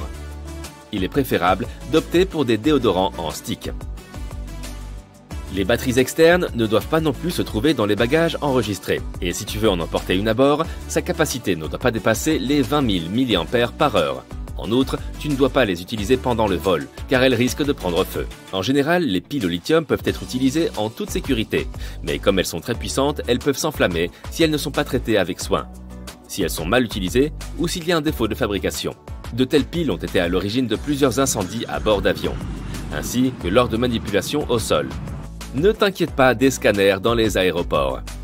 Ils ne sont pas dangereux pour la santé, sinon les employés des aéroports ne pourraient pas s'en approcher sans porter de vêtements spéciaux. Même lorsque tu passes devant un scanner à bagages, le risque est minime. Et pour finir, ne te comporte pas mal à bord. Aie une attitude respectueuse envers le personnel et les autres passagers. Et aussi, n'essaie jamais de faire atterrir un avion tout seul. Ce n'est pas une blague. Dans les films, on voit parfois le personnage principal prendre les commandes de l'avion à la place des pilotes. Malheureusement, c'est presque impossible dans la vie réelle. Même si une personne est très douée, qu'elle aime les simulateurs informatiques très fidèles à la réalité et qu'elle est prête à suivre toutes les instructions depuis le sol, elle risque d'échouer à cause d'un simple facteur, le stress. Il est vrai qu'il y a eu quelques cas où des amateurs ont fait atterrir de petits avions privés après l'incapacité d'un pilote. Mais il n'y a jamais eu de cas où un non-pilote a fait atterrir un avion de ligne. Ça n'existe que dans les films. L'avion se met à trembler et s'élance rapidement sur la piste. Tu regardes par le hublot et ton cœur palpite. C'est le départ en vacances. Ça y est, ce n'est qu'une fois au-dessus des nuages, à 10 000 mètres d'altitude, que tu te lèves pour t'étirer. Tu regardes dans l'allée et vois la porte du cockpit ouverte. Et là, horreur, il est complètement vide. Soit le pilote dort quelque part, soit il est parti faire une balade, soit il n'y a plus personne aux commandes de cet appareil. Tu demandes à l'hôtesse de te dire la vérité. Cet avion est entièrement automatisé et il n'y a rien que tu puisses faire. Les avions autoguidés ne relèvent plus de la science-fiction ils sont déjà là. De nombreuses entreprises affirment que voir des vols commerciaux sans pilote n'est plus qu'une question de temps. Il reste surtout à convaincre le grand public qu'ils sont sûrs. Certaines personnes ne réalisent pas qu'une fois le signal de bouclage de ceinture éteint, un avion de ligne vole déjà de façon autonome. Le pilote automatique peut monter, descendre et virer de bord tout seul. Nous avons tous déjà voyagé avec un système automatisé, mais sans savoir à quel point il l'était. Un avion de ligne peut déjà se poser tout seul, même si cette manœuvre est encore délicate. Actuellement, deux pilotes sont encore nécessaires. Mais de nombreuses entreprises, comme Merlin Air, ont testé de petits bimoteurs automatisés dans le désert du Morave. Airbus a effectué son premier décollage entièrement automatisé en décembre 2019, même s'il y avait deux pilotes présents juste au cas où. Certaines entreprises développent du matériel et des logiciels pour équiper les avions plus anciens. L'objectif est de reproduire tout ce que peut faire un pilote via un ensemble de systèmes informatiques. Mais la dernière barrière reste avant tout humaine. C'est le manque de confiance. Le terme désignant la peur de l'avion est l'aviophobie. Elle touche près de 40% des voyageurs. Ces personnes prennent quand même l'avion, mais sans le moindre plaisir. Entre 2,5 et 5% de la population est tellement anxieuse qu'elle ne prendra jamais l'avion.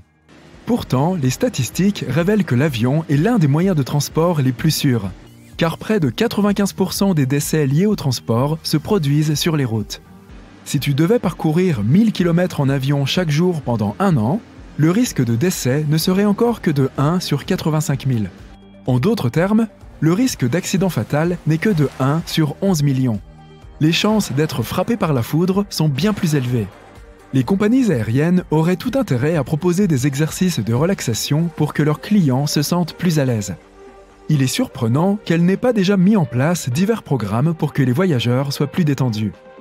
Après tout, la majorité des catastrophes aériennes sont dues à des erreurs humaines. L'automatisation peut donc être une option plus sûre. Il y a bien aussi l'argument selon lequel il faut des humains pour créer des systèmes automatisés. En tout cas, les avions autonomes seront bientôt parmi nous. La population grandit, les villes s'étendent et les besoins de déplacement plus rapides et plus efficaces se font ressentir. Beaucoup de gens dépendront des taxis volants pour contourner les embouteillages. Ils existent déjà. Ils peuvent non seulement couvrir de courtes distances, mais aussi plusieurs milliers de kilomètres et couvrir la même distance qu'une voiture en un quart du temps. Ils ressemblent à des hélicoptères dans le sens où ils peuvent décoller et atterrir verticalement, VTOL, ce qui leur permet d'aller presque n'importe où. Ils seront également construits avec des mécanismes plus silencieux pour réduire la pollution sonore. C'est mieux qu'un train qui passe devant la fenêtre de ta chambre. Ils utiliseront également des systèmes de propulsion électrique permettant de limiter les émissions. Fini les embouteillages et les bouffées de fumée. La différence avec les taxis aériens, c'est qu'il n'y a pas de pilote et que la destination est fixée dès le départ. Le défi pour les concepteurs est de savoir comment opérer dans des environnements comportant de nombreuses structures, comme des bâtiments ou des ponts, et comment naviguer parmi des obstacles mobiles tels que d'autres avions et oiseaux. Affronter les différentes conditions météorologiques complique aussi la tâche. Orages, tempêtes de sable, neige et tornades peuvent poser de gros problèmes. Ce n'est pas comme demander à un chauffeur de taxi de changer d'itinéraire. Ou peut-être pourrons-nous demander verbalement au système de changer la trajectoire prévue? La situation est la même pour les avions notamment en ce qui concerne les conditions météo et les zones de turbulence. Il y a encore beaucoup à faire. Les taxis aériens ne peuvent accueillir qu'un nombre limité de personnes, bien qu'il soit prévu que les vols courts puissent transporter jusqu'à 14 passagers. La confiance en ces véhicules est telle que Skyport, une start-up de Melbourne en Australie, veut commencer à exploiter les vols en taxis aériens à échelle nationale d'ici 2025. D'autres grandes entreprises sont également en course, comme Boeing, Airbus et Toyota. Les plus gros avions étant déjà capables de voler sans pilote, on peut se demander pourquoi ils n'ont pas déjà fait de taxi.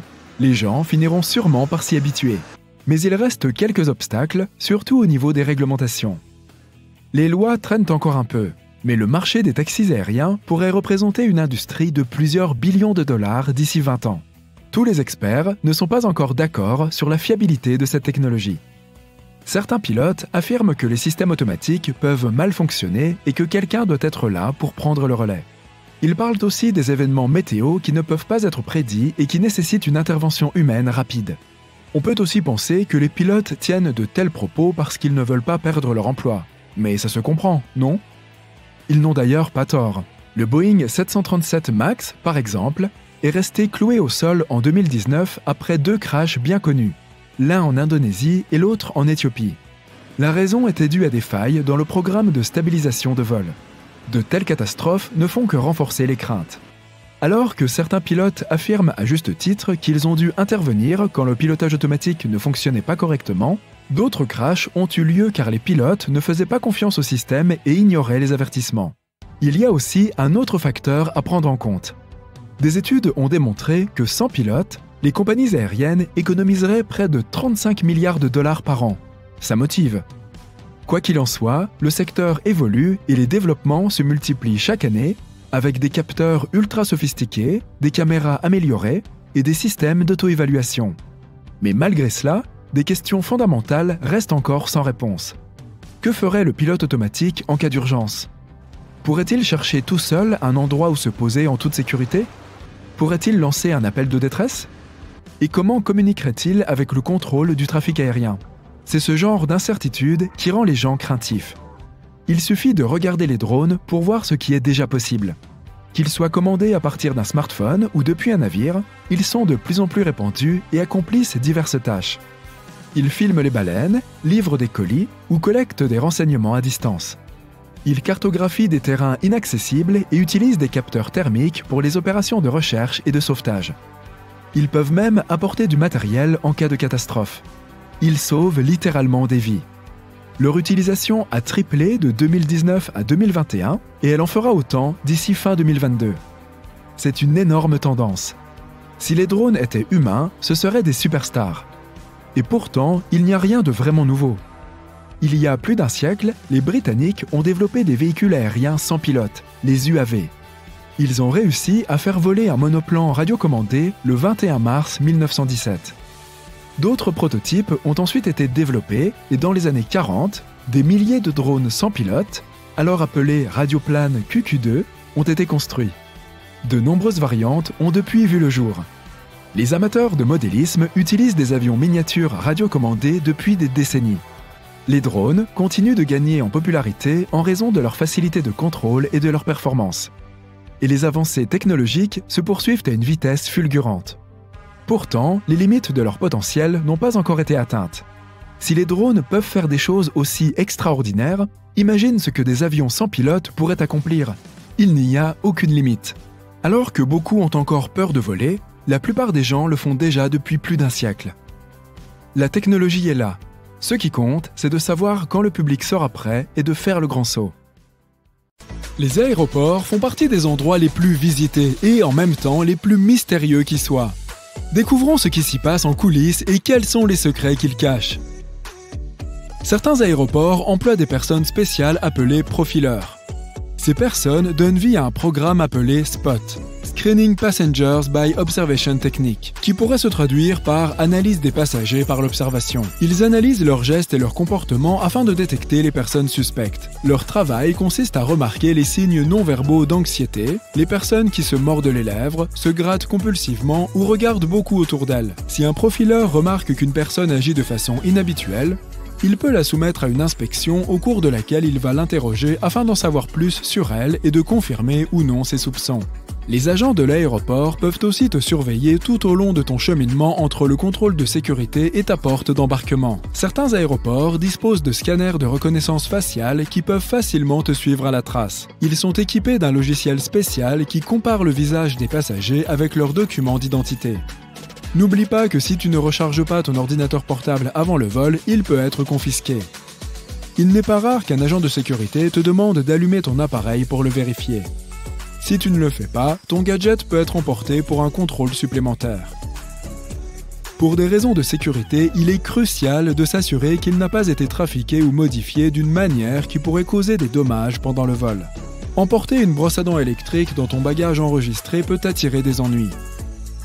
Les brosses de certains fabricants contiennent des piles au lithium, et celles-ci peuvent entraîner de graves problèmes en vol. C'est pourquoi laisser ta brosse à dents électrique dans ton bagage enregistré n'est pas une option. Mais tu peux la mettre dans ton bagage à main. Et si elle fonctionne avec des piles standards, tu peux la mettre où tu veux. Tous ceux qui ont déjà pris l'avion connaissent la règle de l'interdiction des liquides. Mais tout le monde ne sait pas que cette règle s'applique aussi au beurre de cacahuète, au dentifrice, aux crèmes, aux lotions, au maquillage liquide, aux lampes à lave, aux boules à neige, à certains types de médicaments, aux déodorants et même aux semelles de chaussures en gel. Maintenant, intéressons-nous aux pistes d'atterrissage. Les aéroports font payer aux compagnies aériennes d'énormes redevances pour atterrir sur leurs pistes certains jours et à certaines heures. Mais le plus intéressant, c'est que ces créneaux peuvent être échangés. Par exemple, en 2016, Oman Air a payé à Air France environ 75 millions de dollars pour un créneau d'arrivée tôt le matin à l'aéroport de Londres Heathrow. Tu as d'ailleurs probablement remarqué que les prix des billets d'avion ont augmenté au cours de la dernière décennie. C'est à cause des prix extrêmement élevés des créneaux d'atterrissage. Les régulateurs de vol ne contrôlent pas seulement les avions dans le ciel, comme on le voit souvent dans les films, mais ils s'occupent aussi de leurs mouvements au sol. Ils contrôlent également l'éclairage des pistes. Il existe trois types de contrôleurs aériens, en route, terminal et tour. Chacun de ces contrôleurs a son propre domaine de responsabilité. Un régulateur dispose d'environ 5 écrans et les informations qui y figurent changent constamment, car les écrans affichent les conditions météo et des informations sur les autres avions. Si tu te présentes au contrôle de sécurité et qu'on découvre que tu as quelque chose d'interdit dans ton bagage à main, ne t'inquiète pas, tu as encore une chance de sauver ton couteau suisse préféré. Certains aéroports disposent de services postaux et tu pourras envoyer tes affaires à l'adresse que tu veux. En revanche, les frais d'envoi sont assez élevés et certains articles sont interdits d'expédition. Les aéroports peuvent rapidement revendre ton bagage perdu. Bien sûr, tu as une chance de récupérer ta valise qui a voyagé vers une autre destination. Mais il est tout aussi probable que tu ne la revois plus jamais les aéroports ont le droit de vendre les objets perdus lors d'une vente aux enchères. La plupart des aéroports organisent chaque année une vente de bagages perdus. Après avoir payé un droit d'entrée, tu peux enchérir sur des appareils électroniques, des vêtements, des sacs et d'autres objets. Il se peut que tu voyages sur le même vol qu'une star, mais tu ne le sauras pas. Les grands aéroports ont des procédures d'enregistrement et de sécurité séparées pour les célébrités. Elles montent souvent à bord de l'avion directement par une porte cachée située à côté de la passerelle.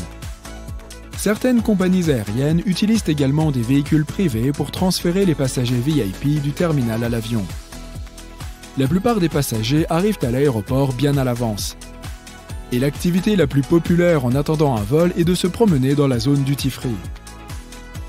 Et même si les gens prévoient rarement d'y acheter quoi que ce soit, plusieurs produits finissent par se retrouver dans leur panier c'est parce que beaucoup d'aéroports sont conçus d'une manière spéciale qui permet aux gens de se sentir détendus et à l'aise. Il y a de grandes baies vitrées, beaucoup de lumière et des fauteuils confortables. Or, statistiquement, les passagers détendus sont 10% plus enclins à dépenser de l'argent dans les magasins, les boutiques hors taxes et les cafés et restaurants. Les concepteurs d'aéroports réfléchissent beaucoup à leur aménagement. Cela permet d'assurer une circulation fluide des voyageurs et le point principal ici est une navigation facile qui les empêche de se perdre. Ils y parviennent grâce à des indices subtils mais très efficaces. Le fait de placer des zones hors taxe entre les points de contrôle de sécurité et les points d'embarquement est l'un d'entre eux. Elles sont censées t'aider à te détendre après avoir passé les contrôles de sécurité et te conduire là où tu dois aller. Le restaurant d'un chef célèbre à l'aéroport ne sera peut-être pas aussi bon que si tu te rendais dans un vrai restaurant. Ce ne sont pas les chefs eux-mêmes, mais des sociétés de restauration spéciales qui sont responsables des points de vente dans les aéroports. L'une des raisons de la moins bonne qualité des aliments est la sécurité extrêmement stricte qui entoure les livraisons dans les aéroports, y compris pour la nourriture. Tu pourras toujours manger un bon repas, mais ce ne sera pas la même chose. Maintenant, parlons d'une autre façon dont les aéroports te manipulent pour te faire dépenser ton argent ils te font traverser les magasins duty-free rutilant directement après le contrôle de sécurité. Mais le plus curieux, c'est que l'allée qui traverse ces magasins est généralement orientée vers la gauche. C'est parce que la plupart des gens sont droitiers. Cela signifie qu'ils utilisent leur bras droit pour tirer leurs bagages et qu'ils ont tendance à regarder vers la droite lorsqu'ils traversent les magasins. Lorsque la zone duty-free s'incurve vers la gauche, il reste plus d'espace sur la droite, là où les passagers ont le plus tendance à regarder. As-tu déjà remarqué le nombre de miroirs dans les aéroports? Ils sont placés stratégiquement pour faire paraître les aéroports plus grands et créer une illusion d'espace. Cela contribue à réduire le sentiment de claustrophobie et rend l'expérience de l'aéroport plus agréable pour les voyageurs. Si tu as le choix, n'échange pas d'argent liquide à l'aéroport. Tu n'y obtiendras jamais un bon taux. Ceux qui n'ont pas acheté de monnaie locale à l'avance peuvent en commander en ligne et la récupérer à l'aéroport. Certains services n'ont besoin que de quelques heures de préavis pour une telle commande. Ou alors, il peut être encore plus judicieux de retirer de l'argent dans un distributeur à ta destination finale. As-tu déjà prêté attention aux codes des aéroports? Les plus utilisés sont ceux à trois lettres. Pourquoi trois? Dans les années 1930, aux États-Unis, les pilotes utilisaient les codes de ville à deux lettres du service météo national pour se référer aux aéroports.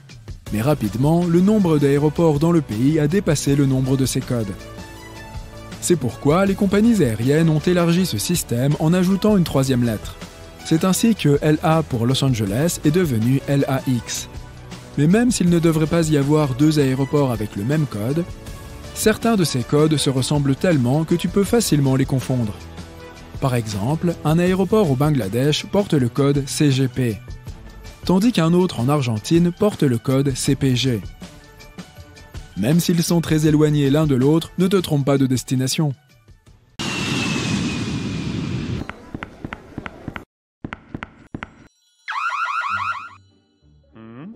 Vous faites erreur sur la personne Je suis juste un commercial qui revient de sa tournée annuelle en Europe.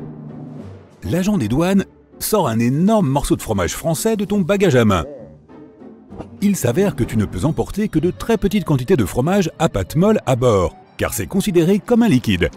Fait amusant, tu peux emporter une râpe à fromage à bord sans problème. Mais tu ne peux pas en râper plus de 100 ml, c'est-à-dire la quantité maximale autorisée. Non, en fait, tu ne peux pas le râper, le fromage doit être emballé en toute sécurité dans un sachet en plastique. Mais bonne nouvelle, le fromage à pâte dure peut être emporté en voyage. Ok, ils t'ont confisqué ton fromage, une grande bouteille d'eau, quelques tubes de crème et autres souvenirs fantaisistes. Regarde ce beau couteau suisse que tu as trouvé à Genève.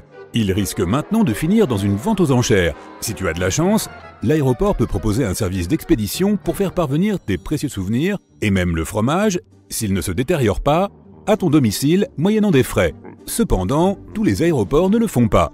Ainsi, certains des articles interdits seront mis aux enchères pour récolter des fonds. Les objets confisqués sont généralement vendus en vrac, donc il sera assez difficile de trouver celui que tu as dû laisser derrière toi. Certains autres objets ayant des buts plus spécifiques sont donnés à différentes organisations. Un spray au poivre, par exemple, ira à une école de formation de la police. En ce qui concerne le fromage, les fruits exotiques interdits, d'autres aliments et l'eau, ils sont généralement simplement jetés. Certains articles, surtout ceux qui sont vraiment dangereux, peuvent être simplement fondus ou détruits. Les boules magiques numéro 8 ne présentent aucun danger, mais elles doivent être placées dans ton bagage en soute. Le problème est le liquide qu'elles contiennent. Il se peut qu'il y en ait moins de 100 ml, mais soyons honnêtes, il est difficile de compter le volume exact. Demande à ta boule si tu peux la prendre à bord. Elle te donnera probablement une réponse du type « ne compte pas là-dessus ». Les semelles en gel sont un peu dérangeantes à bord. Le problème est le même. Il est impossible de mesurer la quantité exacte de liquide. Donc pas de semelles en gel et pas de bougies en gel non plus.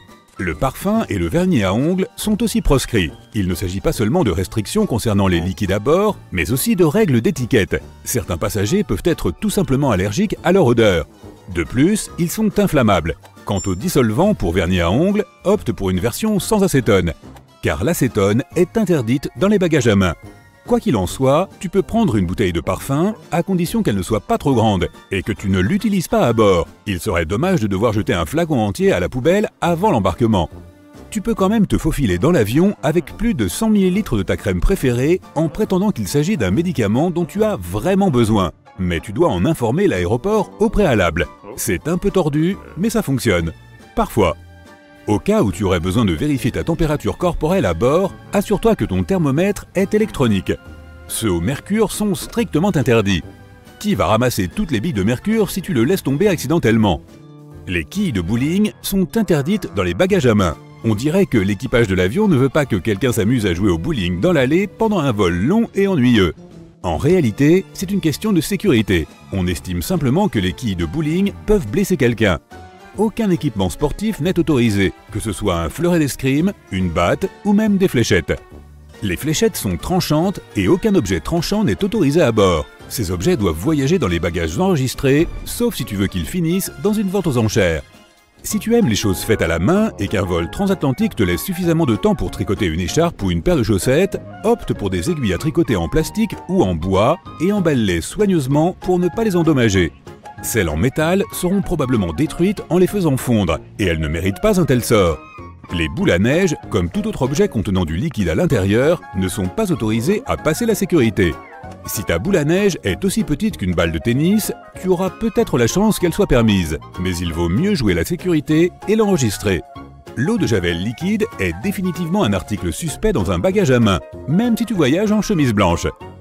Premièrement, elle n'est pas autorisée à bord car elle est hautement inflammable. Deuxièmement, une chemise blanche toute neuve ne semble pas être le bon choix pour un vol. Le café et les turbulences ne font pas bon ménage. Troisièmement, les toilettes d'un avion sont bien trop petites pour faire la lessive. Si tu es un coiffeur en voyage d'affaires, tu devras probablement investir un peu plus lors de la réservation de ton prochain vol. Aucun décolorant pour cheveux n'est autorisé à bord. Les ciseaux ne sont pas non plus les bienvenus, sauf si leurs lames font moins de 10 cm. Au fait, les ciseaux confisqués sont souvent donnés à des écoles, ce qui est une bonne alternative à leur destruction. Mauvaise nouvelle encore pour les coiffeurs, en raison de la présence d'une cartouche de gaz remplie de butane, les fers à friser sans fil ne sont pas autorisés à bord. Bonne nouvelle, les fers à friser électriques sont tout à fait sûrs. Si tu es un artiste, tu as déjà dû avoir affaire aux règles de sécurité. Tu ne souhaites pas que ta peinture soit gelée ou abîmée dans la soute à bagages, alors tu voudras sûrement l'emporter à bord. La sécurité peut accepter tes peintures à l'huile tant qu'elles ne dépassent pas 100 ml. Mais il n'y a aucune chance que tu puisses emporter ta térébenthine hautement inflammable. Si tu n'aimes pas la nourriture d'avion et que tu as omis de commander un repas à bord, tu peux prendre n'importe quel poêle ou casserole à bord et cuisiner toi-même. Non, tu ne peux pas cuisiner et tu ne peux pas non plus prendre une poêle en fonte. Elles sont trop lourdes, c'est pourquoi elles sont susceptibles d'être dangereuses. Si un agent des douanes la confisque, elle ne sera pas donnée à un restaurant local, elle sera probablement fondue. Si tu veux faire un smoothie bien frais pendant ton vol avec les fruits autorisés à bord, comme une pomme ou une banane, mauvaise nouvelle pour toi. Les blenders ne sont autorisés que si tu enlèves les lames, donc techniquement, ce n'est plus un blender. Et c'est là que ta à fromage entre en jeu. Les Christmas crackers anglais peuvent créer une merveilleuse atmosphère de joie et de bonheur pendant les fêtes de fin d'année, mais ils n'apportent rien d'autre que le désordre à bord. Ils font un bruit de craquement lorsqu'on les tire, ce qui peut effrayer les autres passagers. Ils ne sont pas autorisés dans les bagages enregistrés, pas plus que les canons à confetti et les cierges magiques. Les talons hauts et les semelles épaisses ne sont pas interdits, mais ils causent quelques problèmes. Si tu en portes, on te demandera peut-être de les enlever pour les faire scanner. Bien sûr, tu pourras mettre des couvre-chaussures en plastique, mais les sols de ces aéroports grouillent de microbes. Les robes de mariée sont aussi un problème. Certaines robes ne rentrent tout simplement pas dans l'appareil à rayon X, alors il faudra peut-être les vérifier deux fois. Si tu es un fan de camping, attention, tu voudras probablement enregistrer un grand nombre de bagages nécessaires à ton voyage, alors n'oublie pas d'enregistrer aussi les piquets de tente. Mais si tu voyages léger avec un simple bagage à main, tu devras probablement en acheter une fois arrivé à destination. Comme ce sont des objets pointus, les piquets de tente ne sont pas autorisés à bord. Il est difficile d'imaginer que quelqu'un ait une perceuse dans son bagage à main de 2,2 kg. Mais quoi qu'il en soit, elles ne sont pas autorisées. Donc si tu es un bricoleur qui veut rapporter une perceuse comme souvenir de vacances, plutôt que de vulgaires aimants, tu devras l'enregistrer. Si tu veux te faufiler dans un avion avec une glacière pleine de glace carbonique, tu es presque sûr d'échouer. C'est une matière inflammable, donc les règlements de sécurité l'interdisent absolument à bord. Tu peux apporter jusqu'à 2,5 kg de glace carbonique, mais l'autorisation de la compagnie aérienne est nécessaire tout objet avec une lame non couverte n'est pas autorisé à passer la sécurité. En revanche, un rasoir jetable ou des cartouches de lame peuvent être emportés à bord. Les cutters et les couteaux, à l'exception d'un couteau à beurre lisse, doivent être dans les bagages enregistrés. Les pains de savon sont autorisés à bord, mais ne panique pas si un agent des douanes veut vérifier deux fois ton sac après l'avoir scanné. Il se peut simplement qu'il ait l'air un peu bizarre sur l'écran et qu'il les induise en erreur. Le savon liquide, au contraire, suit la règle universelle des liquides. Les règles pour les piles peuvent varier. Les piles renversables de 100 ml ne sont autorisées ni dans les bagages à main, ni dans le bagage enregistré. Et les piles au lithium ne peuvent pas non plus être transportées à bord, car si elles sont endommagées, elles peuvent provoquer un incendie. Mettons que tu voyages avec ton animal de compagnie et que son jouet préféré soit un pointeur laser. Il devra s'en passer cette fois-ci. Les pointeurs laser ne sont autorisés ni dans les bagages à main, ni dans les bagages enregistrés. Une canne utilisée comme aide à la mobilité peut être autorisée à bord, mais étonnamment, les douaniers interdisent parfois cet article. Alors joue la sécurité et préviens la compagnie aérienne à l'avance. Sur ce, bon voyage